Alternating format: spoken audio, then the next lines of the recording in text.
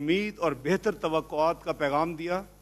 उन्होंने मजीद कहा कि पाकिस्तान, पाकिस्तानी कौम सलाहितों के अतबार से दुनिया की किसी भी कौम से कम नहीं और ये कि हमारी मंजिल सवाए तरक्की के और कुछ नहीं, मुझे पूरा यकीन है कि उनकी क़्यादत में ये कौम एक नई दुनिया की तरफ़ आगे बढ़ेगी, जहाँ पाकिस्तान अकवाम आलम में अपना खोया हुआ मुकाम हासिल करेगा। अपनी इज़्ज़त और शनाख्त को मनवाएगा इन मीशत के सिलसिले में जनाब वज़ी अजम ने असलाहत के एक जाम प्रोग्राम का ऐलान किया, जो इसकी, इसको एक नई जिला बख्शेगा। तरक्की के अमल को तेज़ तर करेगा, कीमतों में इसकाम पैदा करेगा, नौजवानों के लिए रोज़गार के मौाक़े पैदा होंगे और मुल्क में नहायत ज़रूरी इंफ्रास्ट्रक्चर की तमीर की जाएगी। जनाब स्पीकर मेरे पुरजोश जज्बात और एहसास उस वक़्त सर्द पड़ जाते हैं जब मैं, जब आज की टूटी फूटी मीशत को देखता हूँ जो हमें विरसे में मिली। मुआशी तरक्की से कीमतों तक, महसूलत से अखराज तक, पब्लिक डेट से सर्कुल डेट तक, मॉनिटरी एक्सपेंशन से मार्कअप की शरह तक ज़र मुबादला की शरह से ज़र मुबादला के ज़खायर तक और बैरूनी अदायगियों के तोज़न में इसकाम तक। काश कोई ऐसी कारदगी का इशारिया होता, जिसके मतलब मैं ये कह सकता कि इस मीशत की देखभाल बेहतरीन कौमी मुफाद में की गई। दर हकीकत देखभाल का अमल मौजूद ही नहीं था और यूँ लगता है कि मीशत का निज़ाम ऑटो पायलट पर चल रहा था। और जो कुछ भी मीशत में मजबूती और कमजोरियाँ थीं, वो अपने तौर पर अमल पजीर थीं। और पॉलिसी साजी का इसकी कारकर्दगी में कोई हिस्सा नहीं था। एक जमहूरी हुकूमत के लिए ऐसा विरसा पीछे छोड़ना सियासतदानों के बाब में मैं समझता हूँ को अच्छा बयान नहीं। इस तनाजुर में अगर आप देखें तो हालिया इंतबात के नतज अवामी एहतसाब का अमल था और उन्होंने एक वाज फैसला देकर यह तय कर दिया कि गुजशत पाँच साल की कारकर्दगी अवाम को काबिल कबूल नहीं। जाम स्पीकर, मैं इस ऐवान के सामने चंद चंद अहम इंडिकेटर्स को रखना चाहता हूँ, ताकि इस बात का अंदाज़ा लगाया जा सके कि गुजशत पाँच सालों में मीशत की कारकर्दगी कैसे रही। पाँच सालों में G D P growth rate तीन फ़ीसद से एवरेज कम रहा, जो हमारी इस इस्तेदाद से बहुत कम है। अगर आबादी में इजाफे की शरह को सामने रखा जाए, जो कि तकरीबन दो फ़ीसद है तो औसतन हमारी फीकस आमदनी या G D P real growth एक में एक फ़ीसद का इजाफा हुआ, जो किसी तरह भी एक हमारे जैसे मुल्क के लिए इतमान बख्श नहीं। इन्फ्लेशन की औसतन शरह तेरह फ़ीसद रही, जिसकी पिछली चार दिहाइयों में कोई मिसाल नहीं मिलती। शरह मुबादला जो तकरीबन बासठ रुपये फ़ी डॉलर था, वो अब सौ रुपये फ़ी डॉलर हो चुका है। स्टेट बैंक के पास जर मुबादला के ज़खायर, जो ग्यारह इशारिया एक अरब डॉलर थे, वो कम होकर छः इशारिया तीन अरब डॉलर रह गए हैं। इसके बावजूद कि गुजशत हुकूमत ने आई एम से आई एम एफ़ से भी एक खतीर कर्जा लिया था। सर्कुलर डेट किसी काबिल ज़िक्र मकदार में मौजूद नहीं था, जबकि आज और बावजूद इसके कि चौदह सौ इक्यासी अरब रुपए की टैरिफ सब्सिडी अदा की गई पिछले पाँच सालों में, हम सबको मालूम है कि पाँच सौ अरब का सर्कुलर डेट आज हमारे बिजली के निज़ाम और सरकारी मालियाती निज़ाम को तबाह बर्बाद कर रहा है। बजट का औसतन खसारा सात फ़ीसद रहा, जिसकी माजी करीब की तारीख में मिसाल नहीं मिलती। मुल्क का मजमू कर्जा, यानी पब्लिक डेट 31 मार्च 2008 को पाँच हज़ार छः सौ दो अरब था, जिसकी मतवक़ मकदार 30 जून 20 तेरह को चौदह हज़ार दो सौ चौरासी अरब रुपए होगी। इसका मतलब यह है कि इस दौरान मजमू कर्जे में ढाई गुना इजाफा या दो सौ पचपन फ़ीसद इजाफा हुआ। अगर हम मजमू कर्जे को मजमू कौमी आमदनी के तनासब से भी देखें तो आगाज़ कार में ये तनासब fifty two point six percent था, जो कि रवा माली साल के आखिर तक बढ़कर sixty three point five percent मतवक़ है। यानी इस तनासब में भी तकरीबन दस फ़ीसद का खतीर इजाफा हुआ और फिल वक्त ये उस हद को भी अबूर कर चुका है। जनाब स्पीकर, जो fiscal responsibility and debt limitation act 2005 में तय की गई यहाँ मैं ये अर्ज़ कर, करता चलूँ कि मुल्क का मजमू कर्जा उन्नीस से लेके 30 जून उन्नीस तक तकरीबन तीन हज़ार रुपए था। ये वो ये वो चंद झलकियाँ हैं उस मुआशी मैदान की जो हमारी हुकूमत को वरासत में मिल रही हैं। मैंने इन्हें सिर्फ़ इस, इस मकसद के लिए बयान किया है कि कारकर्दगी का एक मैार मुतन हो जाए कि जहाँ से हम अपने सफ़र का आगाज़ कर रहे हैं।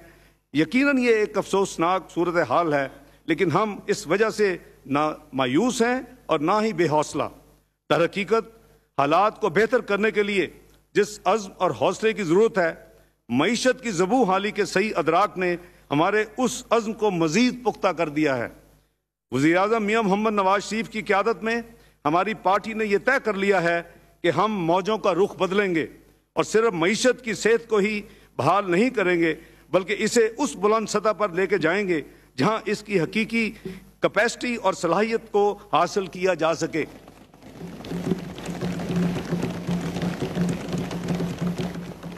जनाब स्पीकर, जो बजट आज मैं आपकी खिदमत में पेश कर रहा हूँ, वो महज रेवेन्यूज और एक्सपेंडिचर में तोज़न पैदा करने का अमल नहीं, बल्कि यह मुस्लिम लीग नून की हुकूमत का मुआशी पॉलिसी बयान है, जिस पर वो अपनी मुद्दत हुकूमत में अमल पैरा रहेगी इन हमारे इंतबी मंशूर पर मबनी है जिसका ऐलान हमने इंतबात में जाने से पहले किया था, इस तनाजर में यह बजट हमारी उस ख्वाहिश का इजहार है कि हम कौम से किए गए सारे वादों को पूरा करेंगे, जिसकी बुनियाद पर कौम ने वजी अजम मियाँ मोहम्मद नवाज़ शरीफ और पाकिस्तान मुस्लिम लीग पर भरपूर एतमाद किया।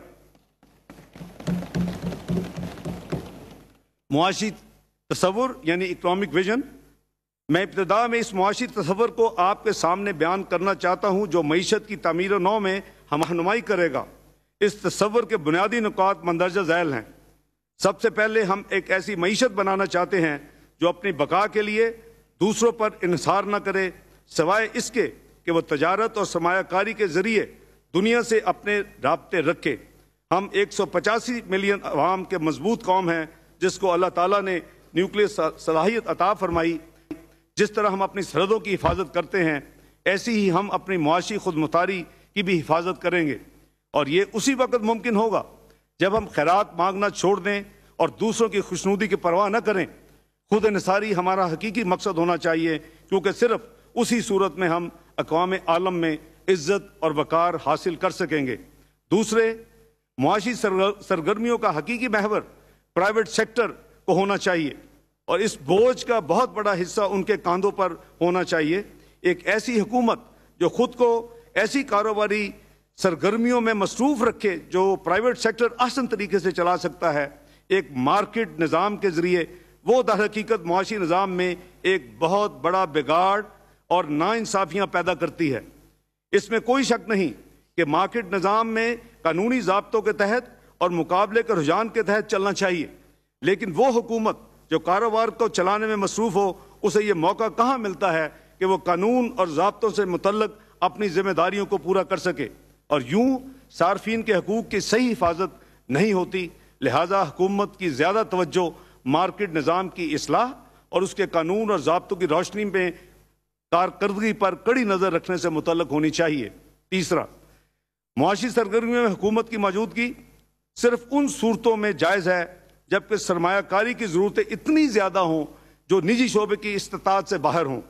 फिर ऐसे शोबे जिनमें मार्केट निज़ाम पुरकशिश मौाक़े ना मुहैया करता हो, बावजूद के माशरती लिहाज से ये पुरकशिश हों, जैसा कि तालीम, सेहत और आबादी की फलाह बहबूद इंफ्रास्ट्रक्चर के बड़े मनसूबे क्योंकि माशरती शोबे सूबों को मुंतकिल हो चुके हैं और जिनके लिए हम खातिर खा वसाल मुहैया कर रहे हैं, वफा की सतह पर हमारी अवलिन तरजीह मुल्क के तेज़ी से ख़राब होते हुए इंफ्रास्ट्रक्चर में इनकलाबी तब्दीली लाना होगी।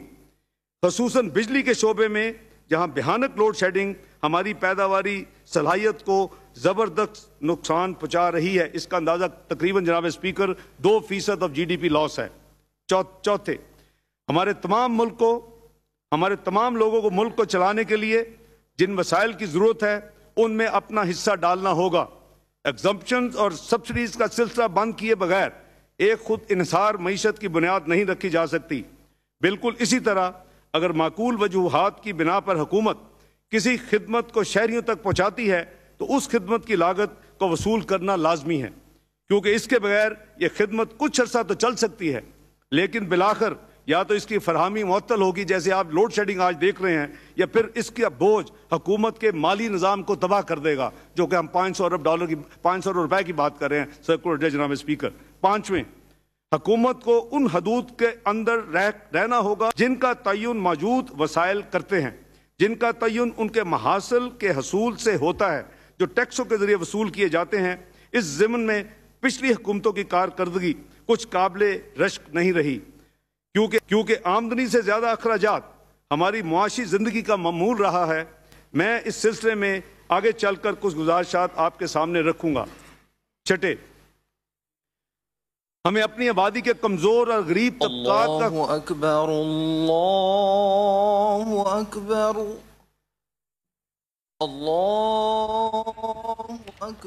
इस वक्त बजट इजलास जारी है। वफाकी वजी खजाना इसहाक डार साहब जो है वो बजट पेश कर रहे हैं। इस दौरान अजान का वक्फा यहाँ पर हम देख रहे हैं। असेंबली में हुआ है।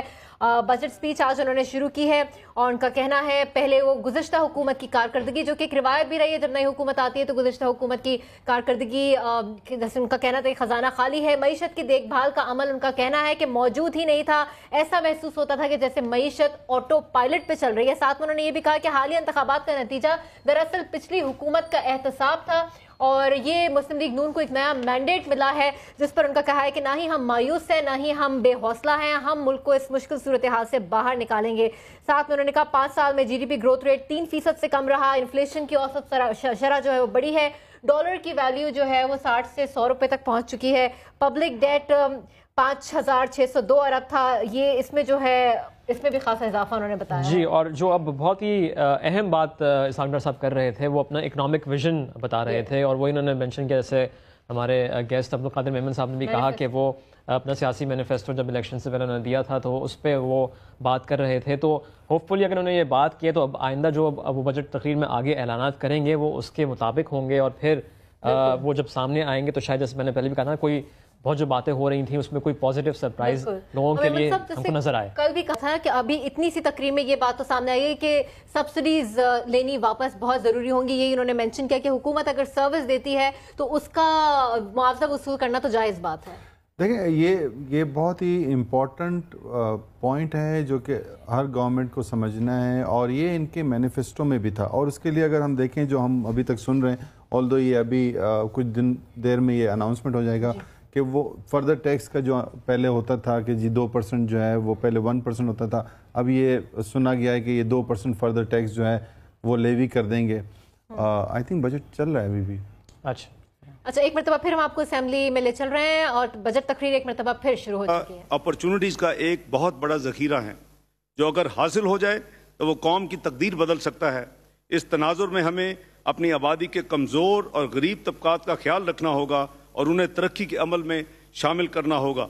लिहाजा हम अहद कर, अहद करते हैं कि हम इन तबकात की बहबूद के लिए एक काबिल इसार और आसान हसूल का जाम प्रोग्राम बनाएँगे, जो इन मिसाली हैसियत का हामिल होगा।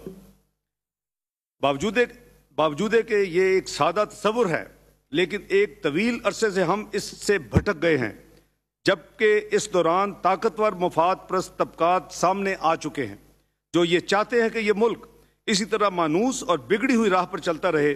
लेकिन हम समझते हैं कि मीशत को एक यकीनी और मुस्तकम राह की तलाश में हमने बेपना वक़्त ज़ाया कर दिया। अब हम मज़ीद वक़्त ज़ाया न करें और एक तयशुदा और गैर मुहिम सिमत का तयन कर दें ताकि हमारे सरमाकार लॉन्ग टर्म फैसले कर सकें और दुनिया में हमारी शनाख्त, मंदरजा बैला तस्वर की हामिल कौम की हैसियत से दुनिया की आँखों में मुसलमा तौर पर तस्लीम हो जाए। ये बजट उस इकोनॉमिक विजन पर अमल दरामद का मंसूबा कौम के सामने रखेगा। हमें यह समझना होगा कि यह तस्वर एक दिन में हकीकत नहीं बन सकता, बल्कि ये एक तवील सफ़र का आगाज़ है, जिस पर हमें मुस्तकिल मिजाजी और इस्तकामत के साथ आगे बढ़ना होगा। लेकिन जैसे कि मिसल मशहूर है कि हज़ारों मील का सफ़र एक पहले कदम से शुरू होता है, लिहाजा ये ऐवान आज इस बात को देखेगा कि मौजूदा बजट वो इब्तदाई में वो इब्तदाई कदम है जो हम इस तवील सफ़र के आगाज़ में उठा रहे हैं। बजट स्ट्रेटजी के बुनियादी नुकात। मैं अब आपकी खिदमत में उन इकदाम की तरफ़ आता हूँ जो हम मौजूदा बजट में उठा रहे हैं ताकि उन चैलेंजेस का मुकाबला किया जा सके जो हमें दरपेश हैं। पहला जो है वो फ़िज़िकल डेफिसिट में कमी की बात है। मैं बिल्कुल शुरू में ये कहना चाहता हूँ कि हमारा बज, हमारे हमारे बजट की हमत अमली में कलीदी नुकता मालियाती खसारे को कम करना है, ताकि इसके मुजर असरात जो सारी मीशत को मुतासर और तबाह करते हैं, उस, उनसे महफूज रहा जाए। इस साल का रिवाइज एस्टीमेट जो फिजल फ़िज़िकल डेफिसिट का है, वो 2024 अरब रुपए है, जो कि आठ इशारिया आठ फ़ीसद जी डी पी का है। हमने इस बजट में, आने वाले बजट में हमने इसमें ढाई फ़ीसद कमी करने का फैसला किया है जो कि अगले माली साल में सोलह सौ इक्यावन रुपए, यानी छः इशारिया तीन फ़ीसद रहेगा, लेकिन हमें इसे मजीद कम करके इसको चार फ़ीसद तक का पहले तीन साल में लाना होगा। टैक्स महासिल में इजाफा। इस जिमन में जो इकदाम कर रहे हैं, उसका बयान मैं तकरीर के हिस्सा दोम में अर्ज़ करूँगा। इन्फ्लेशन में कमी, मंदरजा झैल इकदाम कीमतों में मौजूदा दबाव को ख़त्म करने में मदद देंगे। फ़िज़िकल डेफिसिट में कमी इन्फ्लेशन को कम करने में हमेशा मददगार साबित होती है। इस पर हम इस पर हम अमल कर, करेंगे तो फ़िज़िकल डेफिसिट के कमी के नतीजे में इन्फ्लेशन कम होगी। नंबर दो हम कीमतों में मुसलसल निगाह रखेंगे ताकि ज़रूरी एशिया की बर वक्त फरहमी को यकीनी बनाया जाए। वसी पैमाने पर जुमा और इतवार बाज़ारों बाज़ार सारे मुल्क में खोले जाएँ और जहाँ भी ज़रूरत होगी दरामदाद के ज़रिए सप्लाई की फरहमी की जाएगी ताकि मुकामी किल्लत को दूर किया जा सके। हम नेशनल सेविंग्स और नस्बता सस्ते गैर मुल्की कर्जों के ज़रिए मालियाती खसारा को पूरा करेंगे, जिससे कर्जों की अदायगी में भी सहूलत पैदा होगी। अवाम के लिए नई बचतों की स्कीमों को मुतारफ कराया जाएगा, जिनके ज़रिए वो हुकूमती सिक्योरिटीज तक रसाई हासिल कर सकेंगे, जो कि फ़िलहाल बैंकों के हाथ में है। यहाँ पर उनको मुनाफा ज़्यादा, उनको, उनका मुनाफा ज़्यादा होता है और छोटे खातादार जो हैं, उनको मामूली फ़ायदा पहुँचता है। डेट मैनेजमेंट ऑफ़िस के बारे में हमने इसकी तंजीम नौ का काम शुरू कर दिया है और पेशा वाराना सलाहितों के हामिल अफराद की तैनाती के ज़रिए हम अपने मजमू कर्जे को बेहतर तरीके से और कम लागत पर मुनज़म करने की कोशिश करेंगे। स्टेट बैंक से कर्जों पर इसार कम किया जाएगा, लेकिन मैं यहाँ बड़े दर्द के साथ अर्ज़ करना चाहता हूँ कि स्टेट बैंक एक्ट उन्नीस सौ छप्पन, जिसमें पार्लियामेंट ने 20 जिसमें पार्लियामेंट ने 20 बारह में एक अहम तरमीम मंजूर की थी उसमें स्टेट बैंक से हुकूमती कर्जे, जो दर हकीकत नोटों की छुपाई का अमल है, से मुतलक दो अहम हदूद का तयन किया गया था। इन हदूद के मुसलसल खराब वर्जी की गई है। पहले यह कि हुकूमत कर्जा सिर्फ़ तीन माह के लिए ले सकती है, और सहमाई के आखिर में उसकी वापसी ज़रूरी है। दूसरे ये कि तरमीम के वक्त कर्जों की मकदार जो चौदह सौ अरब थी, उसके मुतलक ये तय कर दिया गया था कि आइंदा आठ सालों में इसकी अदायगी कर दी जाएगी। हकीकत इसके बरक्स है। ना ही ना ही सेमाई हद का लिहाज रखा गया, बल्कि चौदह सौ अरब का जो कर्जा का वापसी का आगाज़ जैसा होना था उस पर चौंसठ फ़ीसद मजीद इजाफा करके आज ये हजम तेईस सौ अरब पर पहुँच चुका है। अब हमारे लिए ये कैसे मुमकिन होगा कि बाकी छह सालों में, दो साल हमने गवा दिए, बाकी छह सालों में जो 1400 अरब वापस करना था, वो 2300 अरब, यानी करीबन 400 अरब रुपए सालाना इस कर्जे को ख़त्म करने के लिए अदा करें। तोानाई के बहरान का हल। तोानाई का बहरान एक पहाड़ की मानंद है। मुस्लिम लीग नून की हुकूमत ने यह अहद किया है कि वो इस मसले को फौरी तौर पर आसन तरीके से हल करेगी। हमने एक प्रोग्राम तरतीब दिया है और इन हम इसे फौरी तौर पर नाफिज कर रहे हैं। इस प्रोग्राम के अहम नुकात मंदरजा झैल हैं। सबसे पहले मुझे ये ऐलान करते हुए बहुत मुसरत है कि वज़ीर अजम मियाँ मोहम्मद नवाज़ शरीफ ने यह तारीखी फैसला किया है कि सर्कुलर डेट को साठ दिन की मुद्दत में सेटल किया जाएगा।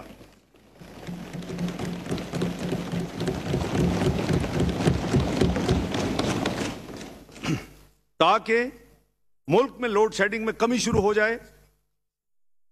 इसके नतीजे में इस अजीम कोशिश के मतवक़ नतज सिर्फ़ उस सूरत में मरतब होंगे जब हम उन तमाम वजूहत का सदबाब करेंगे जो इस सर्कुलर डेट को पैदा करने के, का बायस हैं। मैं तमाम सार्फिन से गुजारिश करूँगा कि वो अपने बिल्स वक्त पर अदा करें, क्योंकि उनकी मुकम्मल अदायगी के बगैर जैसी अहम खदमत बिजली जैसी अहम खदमत मुस्तकिल बुनियादों पर फराहम नहीं की जा सकती। चौथा फेडरल रजिस्टर के दफ्तर को असर नौ मुआजम किया मनज़म किया जाएगा, ताकि वो सूबाई हुकूमतों से फौरी वसूली के इकदाम कर सके। पाँचवा वजी अजम मियाँ मोहम्मद नवाज़ शरीफ, एक एनर्जी पॉलिसी जाम एनर्जी पॉलिसी का मुस्तबिल करीब में ऐलान करेंगे, ताकि प्रोजेक्ट्स के इन्वेस्टर को हर मुमकिन सहूलत मैसर की जा सके। जनाब स्पीकर आपने अखबारों में नंदीपुर प्रोजेक्ट की बहुत कहानियाँ सुनी होंगी। मैं इस, इस ऐवान की खिदमत में फैक्ट्स पेश करना चाहता हूँ। नंदीपुर प्रोजेक्ट जो कि इंतहाई कम लागत प्रोजेक्ट था उसको मुजरमाना मुजरमाना तौर पर नज़रअंदाज किया गया।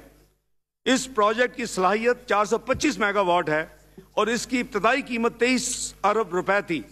इस प्रोजेक्ट की दरामद शुदा मशीनरी पिछले तीन साल से इसलिए कराची पोर्ट पर नकारा पड़ी है कि हुकूमती अदारों ने इसको सिर्फ़ कागजात और फॉर्मेलिटीज को पूरा नहीं किया और इस, उस मशीनरी की क्लियरेंस नहीं हो सकी। आज इस प्रोजेक्ट की कीमत बढ़कर सत्तावन अरब रुपए हो चुकी है। हमने फौरी तौर पर इस सूरत हाल का जायजा लिया है और इसके तदारुक के लिए तमाम फॉर्मेलिटीज को कंप्लीट किया जा रहा है। कागजात की क्लियरेंस का अरेंजमेंट हो चुका है और जो ही अगले चंद दिनों में ये मामला हल होगा, इसके ऊपर तामीराती काम, जो कि चाइनीज़ कॉन्ट्रैक्टर थे फौरी तौर पर शुरू कर दिया जाएगा। और ये प्रोजेक्ट और ये प्रोजेक्ट इंशाल्लाह अगले 18 महीने में पाया तकमील तक पहुँच जाएगा। और मैं यहाँ यहाँ बताता चलूँ कि जो भी इस अजीम कौमी नुकसान के जिम्मेदार हैं, उनके खिलाफ वजी आज़म की हदायत के मुताबिक सख्त कानूनी कार्रवाई अमल में लाई जाएगी। अनटारगेटेड सब्सिडीज हमें इस मुल्क के मालियाती निज़ाम को अनटारगेटेड सब्सिडीज के बोझ से बचाना होगा। हमें इसका एहसास है कि कमज़ोर तबकात हुकूमती मद के मुस्तक हैं।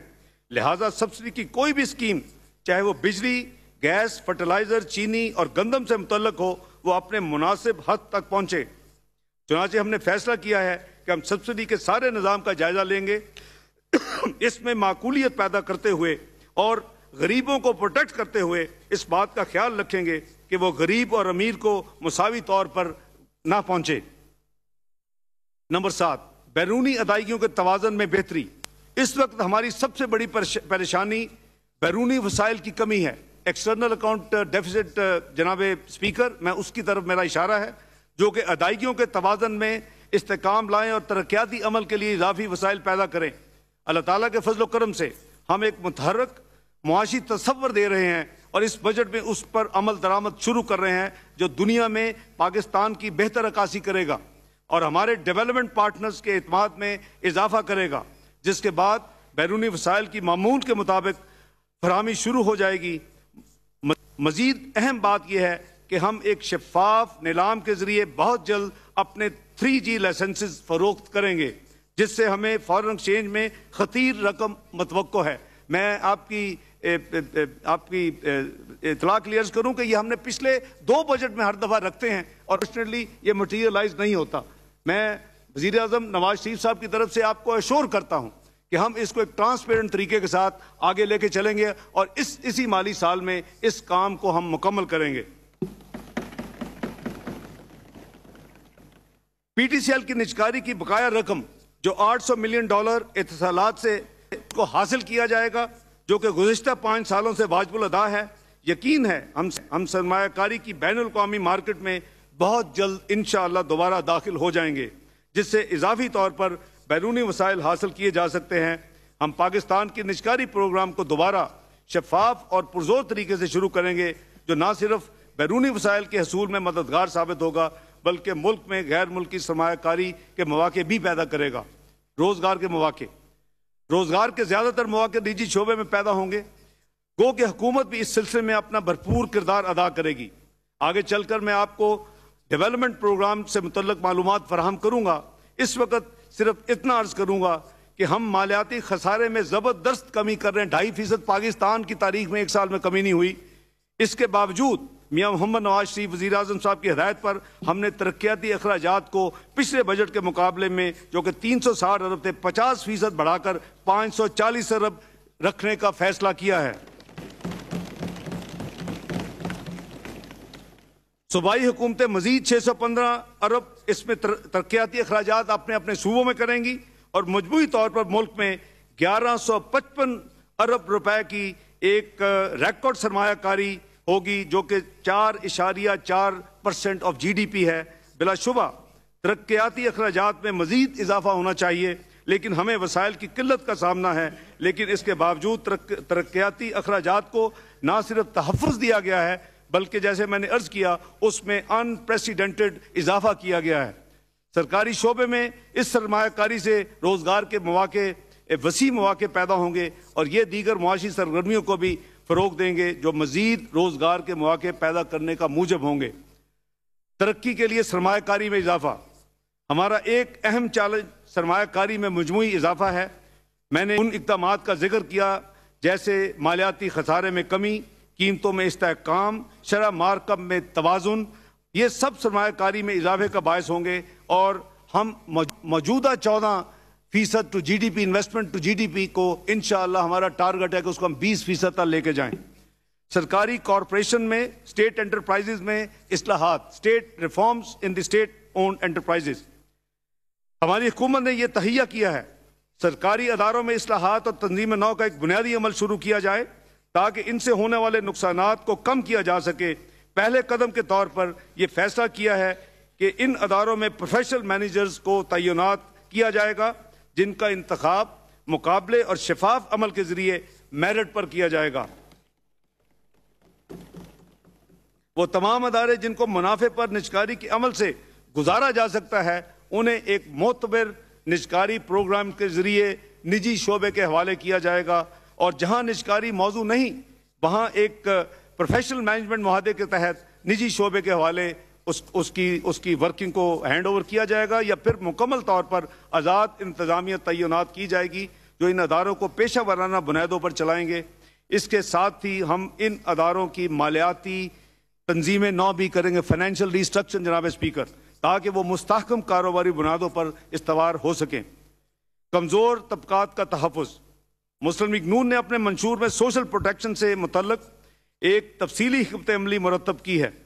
दर हकीकत मुझे इस बात पर खुशी है कि एक एक मुख्तर मुद्दत के लिए 2008 में मुस्लिम लीग नून वफाकी हुकूमत का जब हिस्सा थी, उस वक़्त एक इनकम सपोर्ट फंड का तश्कीला हमने पेश किया था। ये एक ऐसा मनसूबा था जो गरीबों की आमदनी में गैर सियासी बुनियादों पर इजाफी मदद फराहम करता है और जिसमें गरीबों की शनाख्त के लिए एक वाज तरीक़ाकार का तयन भी किया गया था, बदकस्मती से बाद में ये प्रोग्राम अपनी असली रूह से हट गया। इसमें सियासी आलूदगी शामिल हो गई। गरीब खानदानों के मामले में ये हमारी अहम ज़िम्मेदारी है कि हम इस तरह, इस नौीयत के प्रोग्राम को जारी रखें और इसमें पैदा होने वाले बिगाड़ को दूर करें और इसका दायरा मजीद वसी करें ताकि मुस्तक लोगों की में इजाफा हो सके। जनाब वज़ीर आज़म ने यह फैसला किया है, इनकम सपोर्ट फंड जारी रहेगा।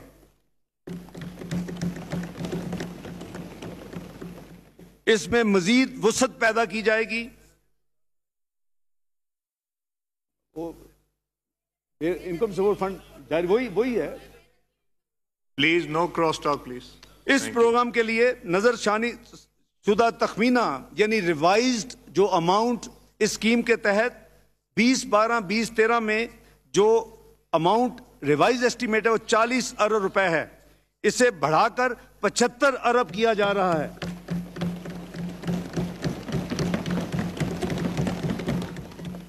जनाब स्पीकर ये दर हकीकत उस प्रोग्राम को सतासी इशारिया पाँच फ़ीसद बढ़ा देगा। 87.5 परसेंट जनाब स्पीकर सोशल प्रोटेक्शन प्रोग्राम में इजाफा किया जा रहा है। चालीस अरब से बढ़ा के पचहत्तर अरब रुपया। अनप्रेसिडेंटेड। ले, लेकिन हम इस प्रोग्राम की तंजीम और इसके डिज़ाइन में ऐसी तब्दीलियाँ करेंगे जो उसके असल मकासद के असूल में ज़्यादा मौसर हों। और उसके साथ हम इस प्रोग्राम से अखराज की ऐसी हमत अमली बनाएँगे जो इस बात का ख्याल रखे कि उस मदद को हासिल करने वाले लोग इस पर हमेशा इंसार न करने लगें, बल्कि वो इस मदद के ज़रिए से अपनी गुर्बत से छुटकारा हासिल करें और रोज़गार कमाने के काबिल हों। मुझे इस बात का ऐलान करने में खुशी है कि इनकम सपोर्ट फंड के तहत मौजूदा महाना अलाउंस एक हज़ार रुपए से 20 फ़ीसद इजाफे के साथ बारह सौ रुपये महाना किया जा रहा है।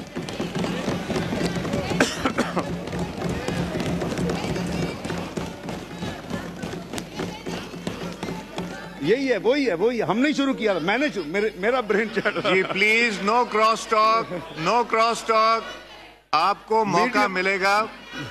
आपको बजट की तकरीरों में मौका मिलेगा ज़रूर बात speaker medium medium term macroeconomic framework. जनाब स्पीकर ये हमारे फौरी चैलेंजेस और इनसे निमटने के लिए हमारी हिकमत अमली का ज़िक्र था। लेकिन मैंने जिस मुआशी तस्वर की बात की है उसका तकाजा है कि हम मीशत को एक मीडियम तन तनाजुर में देखें क्योंकि मुल्क की पैदावारी सलाहियत को बड़े पैमाने पर बढ़ाने के लिए एक दूरस सोच की ज़रूरत है। लिहाजा मैं ये वाजे करना चाहता हूँ कि मौजूदा budget medium term macro economic framework का हिस्सा है, जो 20 13 20 14 से 20 15 20 16 तक फैला हुआ है। इस मीडियम टर्म फ्रेमवर्क के मरकजी नुकात मंदरजा झैल हैं। नंबर एक जीडीपी 20 15 16 तक बतदरीज बढ़ाकर सात फ़ीसद तक बढ़ाई जाएगी।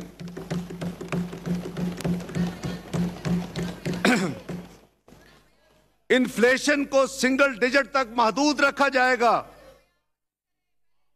सरमायाकारी का तनासब 20 फ़ीसद तक बढ़ाया जाएगा।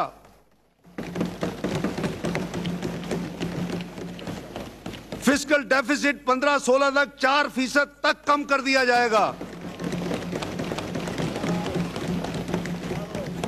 पाकिस्तान के जर मुबादला के जखायर इस मीडियम टर्म फ्रेम के मुताबिक तीन साल में 11 अरब से बढ़ के 20 अरब डॉलर बढ़ा दिए जाएँगे। जनाब स्पीकर बिलाशुबा ये अहदाफ बड़े अज़्म और हौसले का तकाजा करते हैं। पूरी कौम की यूनिटी इस, इस काम के लिए दरकार है। लेकिन ये हमारी मीशत की बहाली के लिए लाजम है और हमारी हकीकी सलाहियत से मुनासबत रखते हैं। अलावा अजी हमने ये तहैया किया हुआ है कि हम इस मुल्क की तकदीर को इन बदलना चाहते हैं? और हमारे इसी अज़्म और हौसले की वजह से अवाम ने हम पर एतमाद किया है।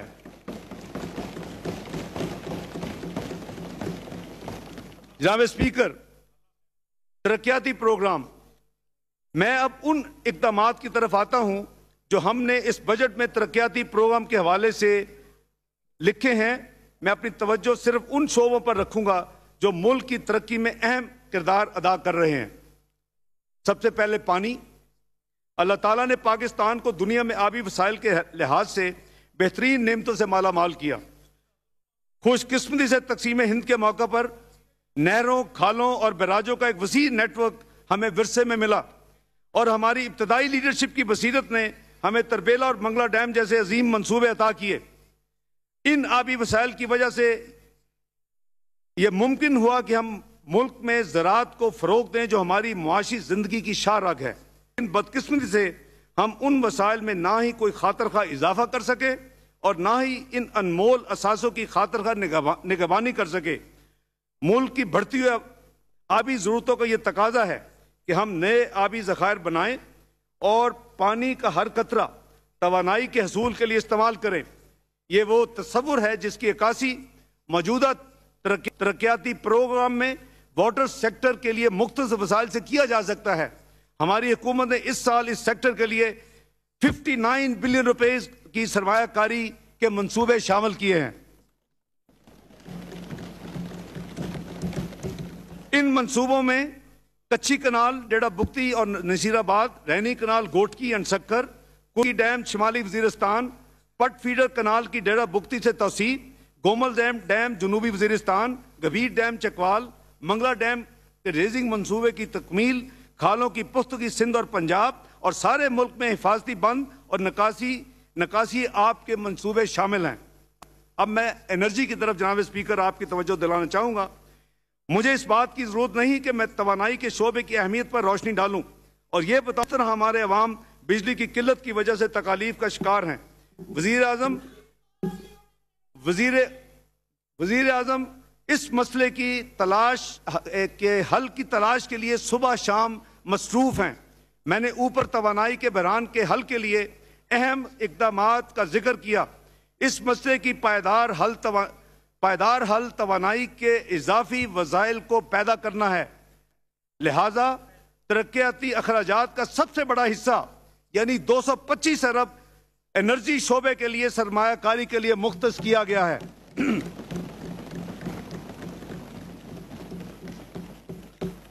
जिसमें से 107 अरब पीएसटीपी से आएँगे और बकाया 118 अरब एपीडीए एनटीडीसी जेनको डिस्को हकूमती मदद से वो जराए हासिल करेंगे। इन इस शोबे में जो शामिल मंसूबे हैं रिकॉर्ड के लिए मैं अर्ज़ करूँगा इसमें नी, नीलम जेलम मंसूबा एक एक हज़ार मेगावाट बादशाह डैम चार हज़ार पाँच सौ मेगावाट तरबेला चौथा चौथा तोसई मंसूबा चौदह सौ दस मेगावाट थर कोल गैसिफिकेशन मंसूबा सौ मेगावाट चश्मा न्यूक्लियर छः सौ मेगावाट, चाइना की मदद से कराची कोस्टल पावर के दो बाईस सौ मेगावाट, ख्याल खावर सौ बाईस मेगावाट, अलाई खावर सौ बाईस मेगावाट, कंबाइंड साइकिल पावर मंसूबा नंदीपुर 425 मेगावाट और और गुद्दू पावर की अपग्रेडेशन जो कि करीबन सात सौ सैंतालीस मेगावाट गैस बेस है, मुजफ्फरगढ़ और जामशारो प्लांट्स के कोयले पर मुंतकली और तीन हज़ार एक सौ बीस मेगावाट, इसके अलावा मुतद मनसूबे ट्रांसमिशन लाइन्स की बेहतरी, ग्रिड स्टेशन की तमीर और तकसीम के निज़ाम को मौसर बनाने के लिए शामिल किए गए हैं। इन मंसूबों से इस बात का अंदाज़ा लगाया जा सकता है कि हमारे पास एक देर पा प्रोग्राम है, सस्ती बिजली पैदा करने के लिए और मुल्क को तेल की आलूदगी से बचाने के लिए, फ्यूल मिक्स की बेहतरी से मुस्तबिल में बिजली की कीमत में इस्तेकाम पैदा होगा और उसमें वो इजाफा नहीं होगा जो माजी करीब में होता रहा। अब मैं शाहराओं की तरफ़ आता हूँ। मियाँ मोहम्मद नवाज़ शरीफ ने इस्लामाबाद लाहौर मोटरवे बनाने का जो जरूरतमंदाना फैसला किया था, उसके बाद उसका मुकाबला, उसके मुकाबले का कोई और मंसूबा शुरू नहीं हो सका। बावजूद के गुजशत दो दहाइयों में हमारी मीशत में ज़बरदस्त फैलाव हुआ और मुकामी आबादी के लिए रबतों की ज़रूरत में कई गुना इजाफा हुआ इस हंगामी सूरत हाल को मद्देनजर रखते हुए हमने कौमी शाहराओं की तमाम मनसूबों का तफसीली जायजा लिया है और इनमें नई तरजीहत का तयन किया है। शहरी और देही दोनों आबादियों को अपनी मीशत की बेहतरी के लिए रबता सड़कों की लिंक रोड की ज़रूरत है। इन रबता सड़कों की अदम मौजूदगी में हमारे किसान अपनी पैदावार की बेहतर कीमत वसूल नहीं कर सकते और ना ही हमारे शहरी मौसर तौर पर सार्फिन तक एशिया की तरसील कर सकते हैं। दर हकीकत हमको शाहराओं, हम दर हकीकत हमको शाहराओं के जाल को गुर्बत के खात्मे के एक अहम ज़रिया समझना चाहिए, क्योंकि इसके बगैर हमारे लोग उन जगहों से कटे रहेंगे जहाँ पर मुआशी मौके मौजूद हैं।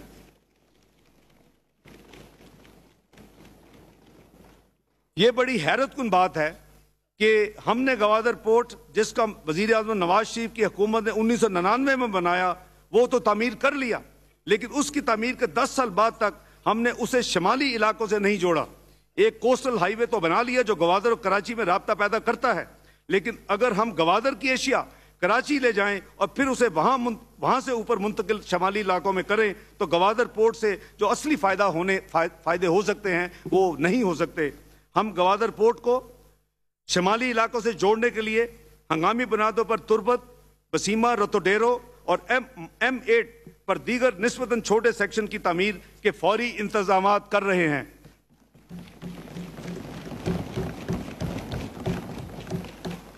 ताकि गवादर पोर्ट के हकीकी फ़ायद आवाम को मिलने शुरू हो, हम एम चार पर भी काम में तेज़ी लाएँगे ताकि फैसलाबाद, खानेवाल, मुल्तान, शाहरा की तकमील हो।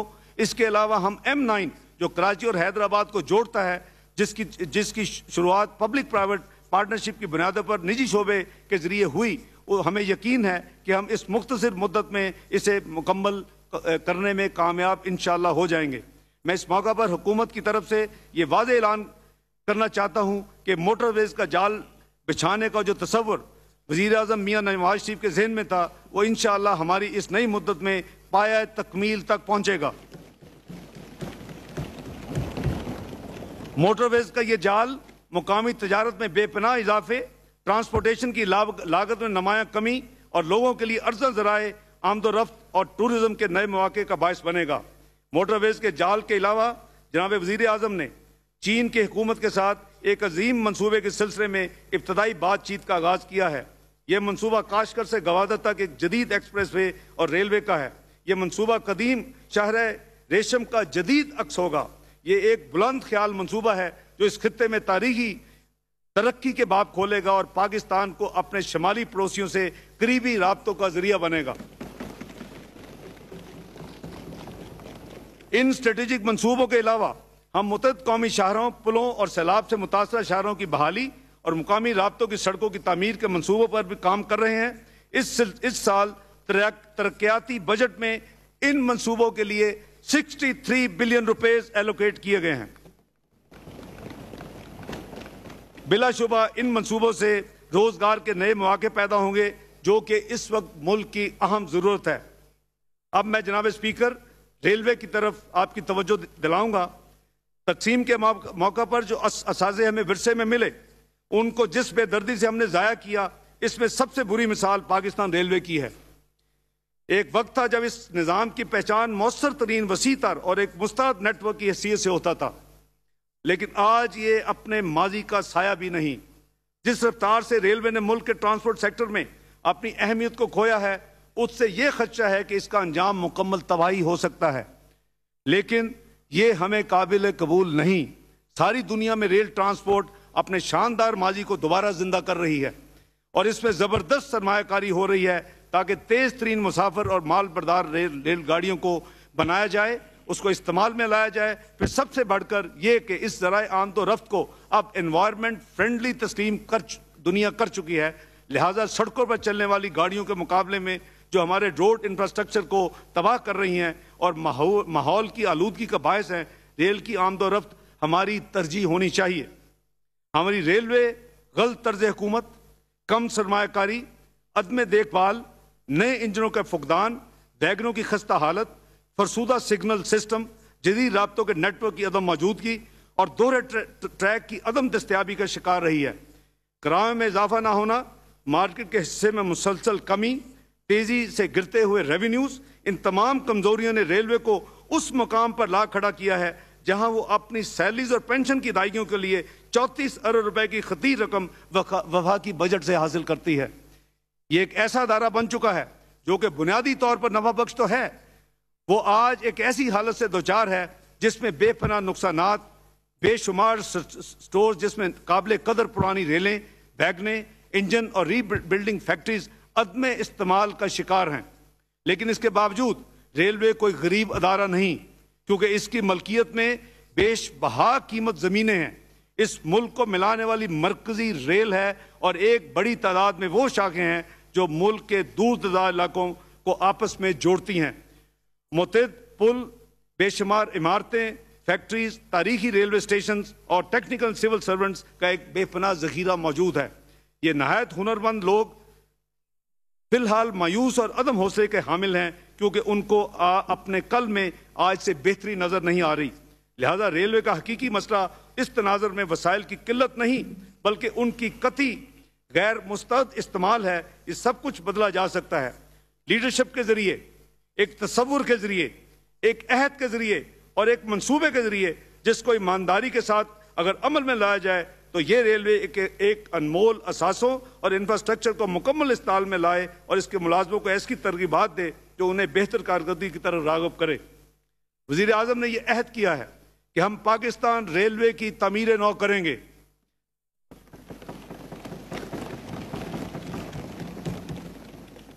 और इसकी शानदार माजी की बहाली की बुनियाद रखेंगे। वज़ीर आज़म की हदायत पर वज़ीर रेलवे एक जाम मनसूबे पर काम कर रहे हैं, जो बहुत जल्द इस मनसूबे को अवाम के सामने लाएँगे। इस मौका पर इसके मरकजी नुकात आपके सामने अर्ज़ करूँगा। पार्लियामेंट के कानून के ज़रिए हम रेलवे को एक कॉरपोरेशन में तब्दील करेंगे, जबकि नौकरियों का तहफ़ होगा और शरात मुलाजमत महफूज होंगी। एक बोर्ड ऑफ़ डायरेक्टर रेलवे के मामला को चलाएगा, जिनका इंतखब पेशा बना अफराद में से किया जाएगा। जिनका ताल्लुक public transport engineering management accountancy finance law और पब्लिक एडमिनिस्ट्रेशन एडमिनिस्ट्रेशन से होगा। रेलवे बोर्ड और फेडरल गवर्नमेंट की मंजूरी से रेलवे इंतजामिया ऐसी पॉलिसियाँ बनाएँगी, जिसके ज़रिए रेलवे के तमाम असासे पब्लिक प्राइवेट पार्टनरशिप की बुनियाद पर मुकम्मल तौर पर जेर इस्तेमाल आ सकें और इसकी आमदनी को बढ़ाने का बायस बने। तरक्याती बजट में रेलवे का हिस्सा बतदरीज बढ़ाया जाएगा, ताकि वो नए इंजन हासिल कर सके ट्रैक को डबल कर सकें रोलिंग स्टॉक्स में इजाफा कर सकें सिग्नल सिस्टम को मौसर बना सकें और रबतों के ज़रिए जदीद तर्ज पर मनजम कर सकें। अगले साल में हमने रेलवे के लिए इकतीस अरब रुपए मुख्त किए हैं, जो कि इस साल के रिवाइज एस्टिमेट जो जो कि 20 अरब था, उससे ऑलमोस्ट 50 फ़ीसद ज़्यादा है। ऐसी फीजिबिलिटी स्टडीज़ पर काम शुरू हो, होगा जो पाकिस्तान को एक जानब गवादर से अफ़गानिस्तान तक रेल के ज़रिए मिलाएँ और दूसरी जानब गवादर को चाइना से मिलाएँ। हुकूमत जापान की मदद से कराची सर्कल रेलवे प्रोजेक्ट पर काम हो रहा है और इन उम्मीद है कि इस पर जल्द कामयाबी होगी। ह्यूमन डेवलपमेंट किसी भी कौम के लिए उसका हकीकी सरमाया उसके लोग हैं। दर हकीकत ये कहा जाता है कि असल तरक्की लोगों के अंदर पैदा होती है गो कि इसके कितने ही मज़ाहिर हमें मादी तरक्की में नज़र आए। लिहाजा इंसानी तरक्की पर किए जाने वाले अखराज को हमें एक सरमाकारी समझना चाहिए, जो हमारे मुस्तबिल की तरक्की की रफ्तार को तेज़ तर बनाने में मुआवन साबित होगी।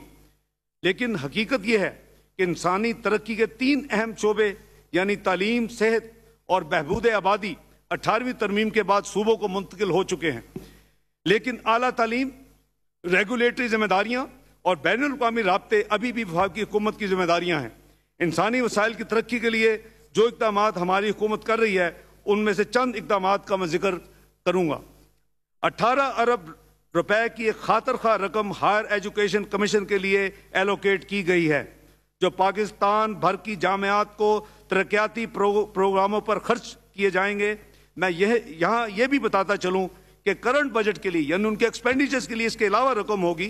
और हमने एच के लिए उनतालीस अरब रुपए मुख्त किए हैं। लिहाजा मजमू तौर पर इस ह्यूमन कैपिटल इन्वेस्टमेंट और हायर एजुकेशन के लिए हमारी हुकूमत ने 57 बिलियन के वसायल मुहैया किए हैं।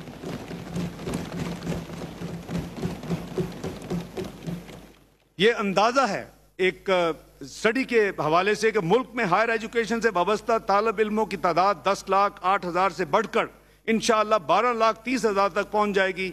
जो कि इस तादाद में चौदह फ़ीसद इजाफा करेगी। बैरूनी स्कॉलरशिप की तादाद जो चार हज़ार दो सौ उनचास है, इसको और आपने देखा कि स्कॉलरशिप के जो जो मुश्किल आई और अखबार अखबारों की जीनत रहे पिछले एक साल, उस चार हज़ार दो सौ उनचास स्कॉलरशिप को दो हज़ार स्कॉलरशिप के इजाफी करके छह हज़ार दो सौ उनचास स्कॉलरशिप किया जा रहा है। सूबों को मुंतकिल के बावजूद वफाकी हुकूमत सेहत के मनसूबों के लिए भी वसायल मुहैया कर रही है। अगले साल में कौमी सेहत के मनसूबों के लिए 21 अरब रुपए की रकम एलोकेट की गई है। इसमें शामिल प्रोग्रामों में इम्यूनाइजेशन का प्रोग्राम ईपीआई कौमी जच्चा व बच्चा और बच्चों की सेहत से मुतलक प्रोग्राम फैमिली प्लानिंग और बुनियादी सेहत सेहत कौमी प्रोग्राम और दीगर कौमी प्रोग्राम जो बीमारियों से बचाव और इन पर काबू पाने के लिए शुरू किए गए हैं। मसलन अंधापन टीबी हेपेटाइटिस मीजल्स और एवियन इन्फ्लुएंजा सबसे अहम बात यह है कि बहबूद आबादी के सूबाई प्रोग्रामों के लिए वफाकी हुकूमत की तरफ़ से मदद जारी रहेगी और वफाकी हुकूमतों की इस जमन में जो वो काम करेंगे, आठ अरब रुपए एलोकेट किए गए हैं चारों सूबों की मदद करने के लिए इस मद में। जनाब स्पीकर, ये बात सबको मालूम है कि गुजशत पाँच सालों में हमारी सनत को, पॉलिसी साजों की गफलत, अदारती मुद्दत की अदम मौजूदगी तोानाई का बहरान, कर्जों की अदम दस्तियाबी इंफ्रास्ट्रक्चर की खस्ता हालत, खराब तर्ज हुकूमत और बेजा बोझ डालने वाले जबते जो सूबाई और फाकी हुकूमतों में यकसा पाए जाते हैं की वजह से बहुत ज़्यादा नुकसान पहुँचा। ये नहायत ही अहम रुकावटें हैं और इसमें कोई हैरत की बात नहीं कि नतीजतन सनदी सरमाकारी में तेज़ी में की तेज़ी में कमी वाक़ हुई और सनदी तरक्की गुजशत पाँच साल में औसतन एक इशारिया आठ फ़ीसद रही। इस शरह नमू से हमारे लिए मुमकिन नहीं होगा कि मजमू कौमी पैदावार, यानी जी डी पी ग्रोथ का सात फ़ीसद हदफ हासिल कर सकें, जो कि हमने अपने तीन साल medium term frame, economic frame में रखा है। इसलिए हमें यह एहसास है कि सनती शोबा मुल्क की मीशत में ना सिर्फ़ मरकजी अहमियत का हामिल है, बल्कि रोज़गार के मौाक़े मुहैया करता है। हमारे इस ज़मन में हमारे मनसूबे हकीकत पर अगर मबनी नहीं होंगे और हम सनती शोबे को बहाल नहीं करेंगे तो हम अपने टारगेट अचीव नहीं कर सकते। इस हवाले से हमारी हुकूमत ने फैसले किए हैं जिनका मैं ज़िक्र यहाँ करना ज़रूरी समझता हूँ। एक्सपोर्ट प्रोसेसिंग जोन की पॉलिसी का असर नो जायज़ा लिया जाएगा और इसमें दी गई जो इंसेंटिव्स हैं, उसको मजीद पुरकश बनाने के लिए मतलूबा तरमीम की जाएँगी। नंबर दो, सूबाई हुकूमतों के तावन से पूरे मुल्क में नए इंडस्ट्रियल जोन की तमीर की जाएगी और उन्हें इस अंदाज से बनाया जाएगा जिसमें सनतों को दरकार तमाम बुनियादी सहूलतें फराहम की जाए। हमने अपोजिशन में रहते हुए भी स्पेशल इकोनॉमिक जोन एक्ट बीस बारह की मंजूरी के लिए अहम किरदार अदा किया था। लेकिन इस कानून के समराज सिर्फ़ उस सूरत में सामने आएँगे जब हम इस पर हकीकी अमल दरामद को यकीनी बनाएँगे। अभी तक तो इस सिलसिले में कुछ नहीं हुआ, लिहाजा हम इस कानून को, उसकी सही रूह और तहरीर के मुताबिक इंशाल्लाह नाफिज करेंगे और इसके पीछे हमारा मुकम्मल अहद और वाज सरपरस्ती वज़ीर अजम की शामिल होगी। एक जाम मनसूबे के तहत हम ग्वादर स्पेशल इकनॉमिक जोन की तमीर करेंगे, जो ना सिर्फ़ बलोचिस्तान, बल्कि पाकिस्तान।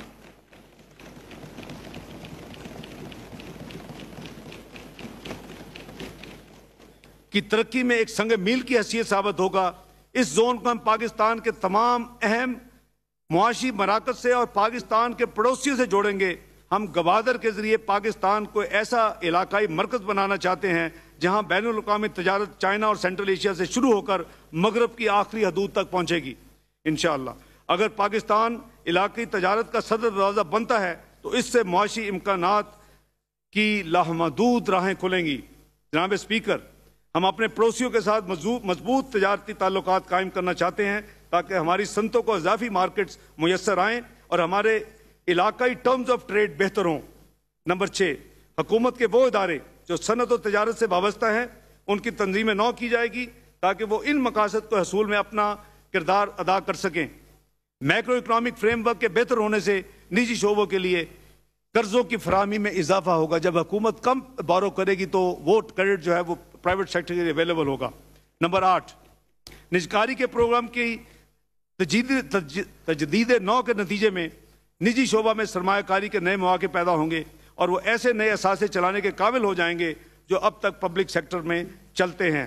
जनाब स्पीकर, अब मैं हाउसिंग की तरफ़ आपकी तवज्जो दिलाना चाहता हूँ।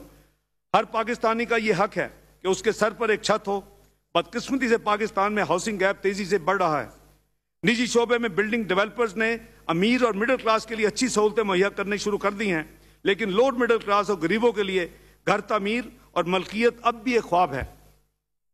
हमने अपने गुजशत दौरे हुकूमत में गरीबों को घर मुहैया करने का एक प्रोग्राम सारे मुल्क में शुरू किया था। उस प्रोग्राम के तहत सूबाई हुकूमतों ने ज़मीन बगैर लागत के मुहैया की थी और की हुकूमत ने तामीराती काम में मुआवनत की थी। लेकिन बाद इस मनसूबे पर काबिल ज़िक्र पेशरफ नहीं हुई। वज़ी अजम की हदायत पर वजारत हाउसिंग एंड वर्क्स एक नए मनसूबे पर काम शुरू कर रही है, जिसके मेन फीचर्स ये हैं। जहाँ मुमकिन हुआ सरकारी ज़मीन पर तीन मल्ले हाउसिंग स्कीम का आगाज़ किया जाएगा, जहाँ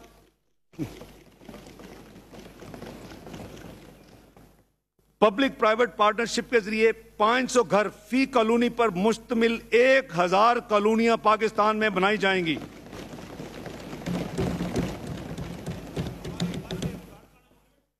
जो कम आमदनी वाले खानदानों में एक शफाफ तरीके के ज़रिए उसकी तकसीम कार की जाएगी घरों की तमीर के लिए, कर्जों की फरहमी यकीनी बनाने के लिए हुकूमत ने मार्कअप कॉस्ट का एक हिस्सा खुद उठाने का फैसला किया है, जिसके लिए मौजूदा बजट में साढ़े तीन अरब रुपए एलोकेट किए गए।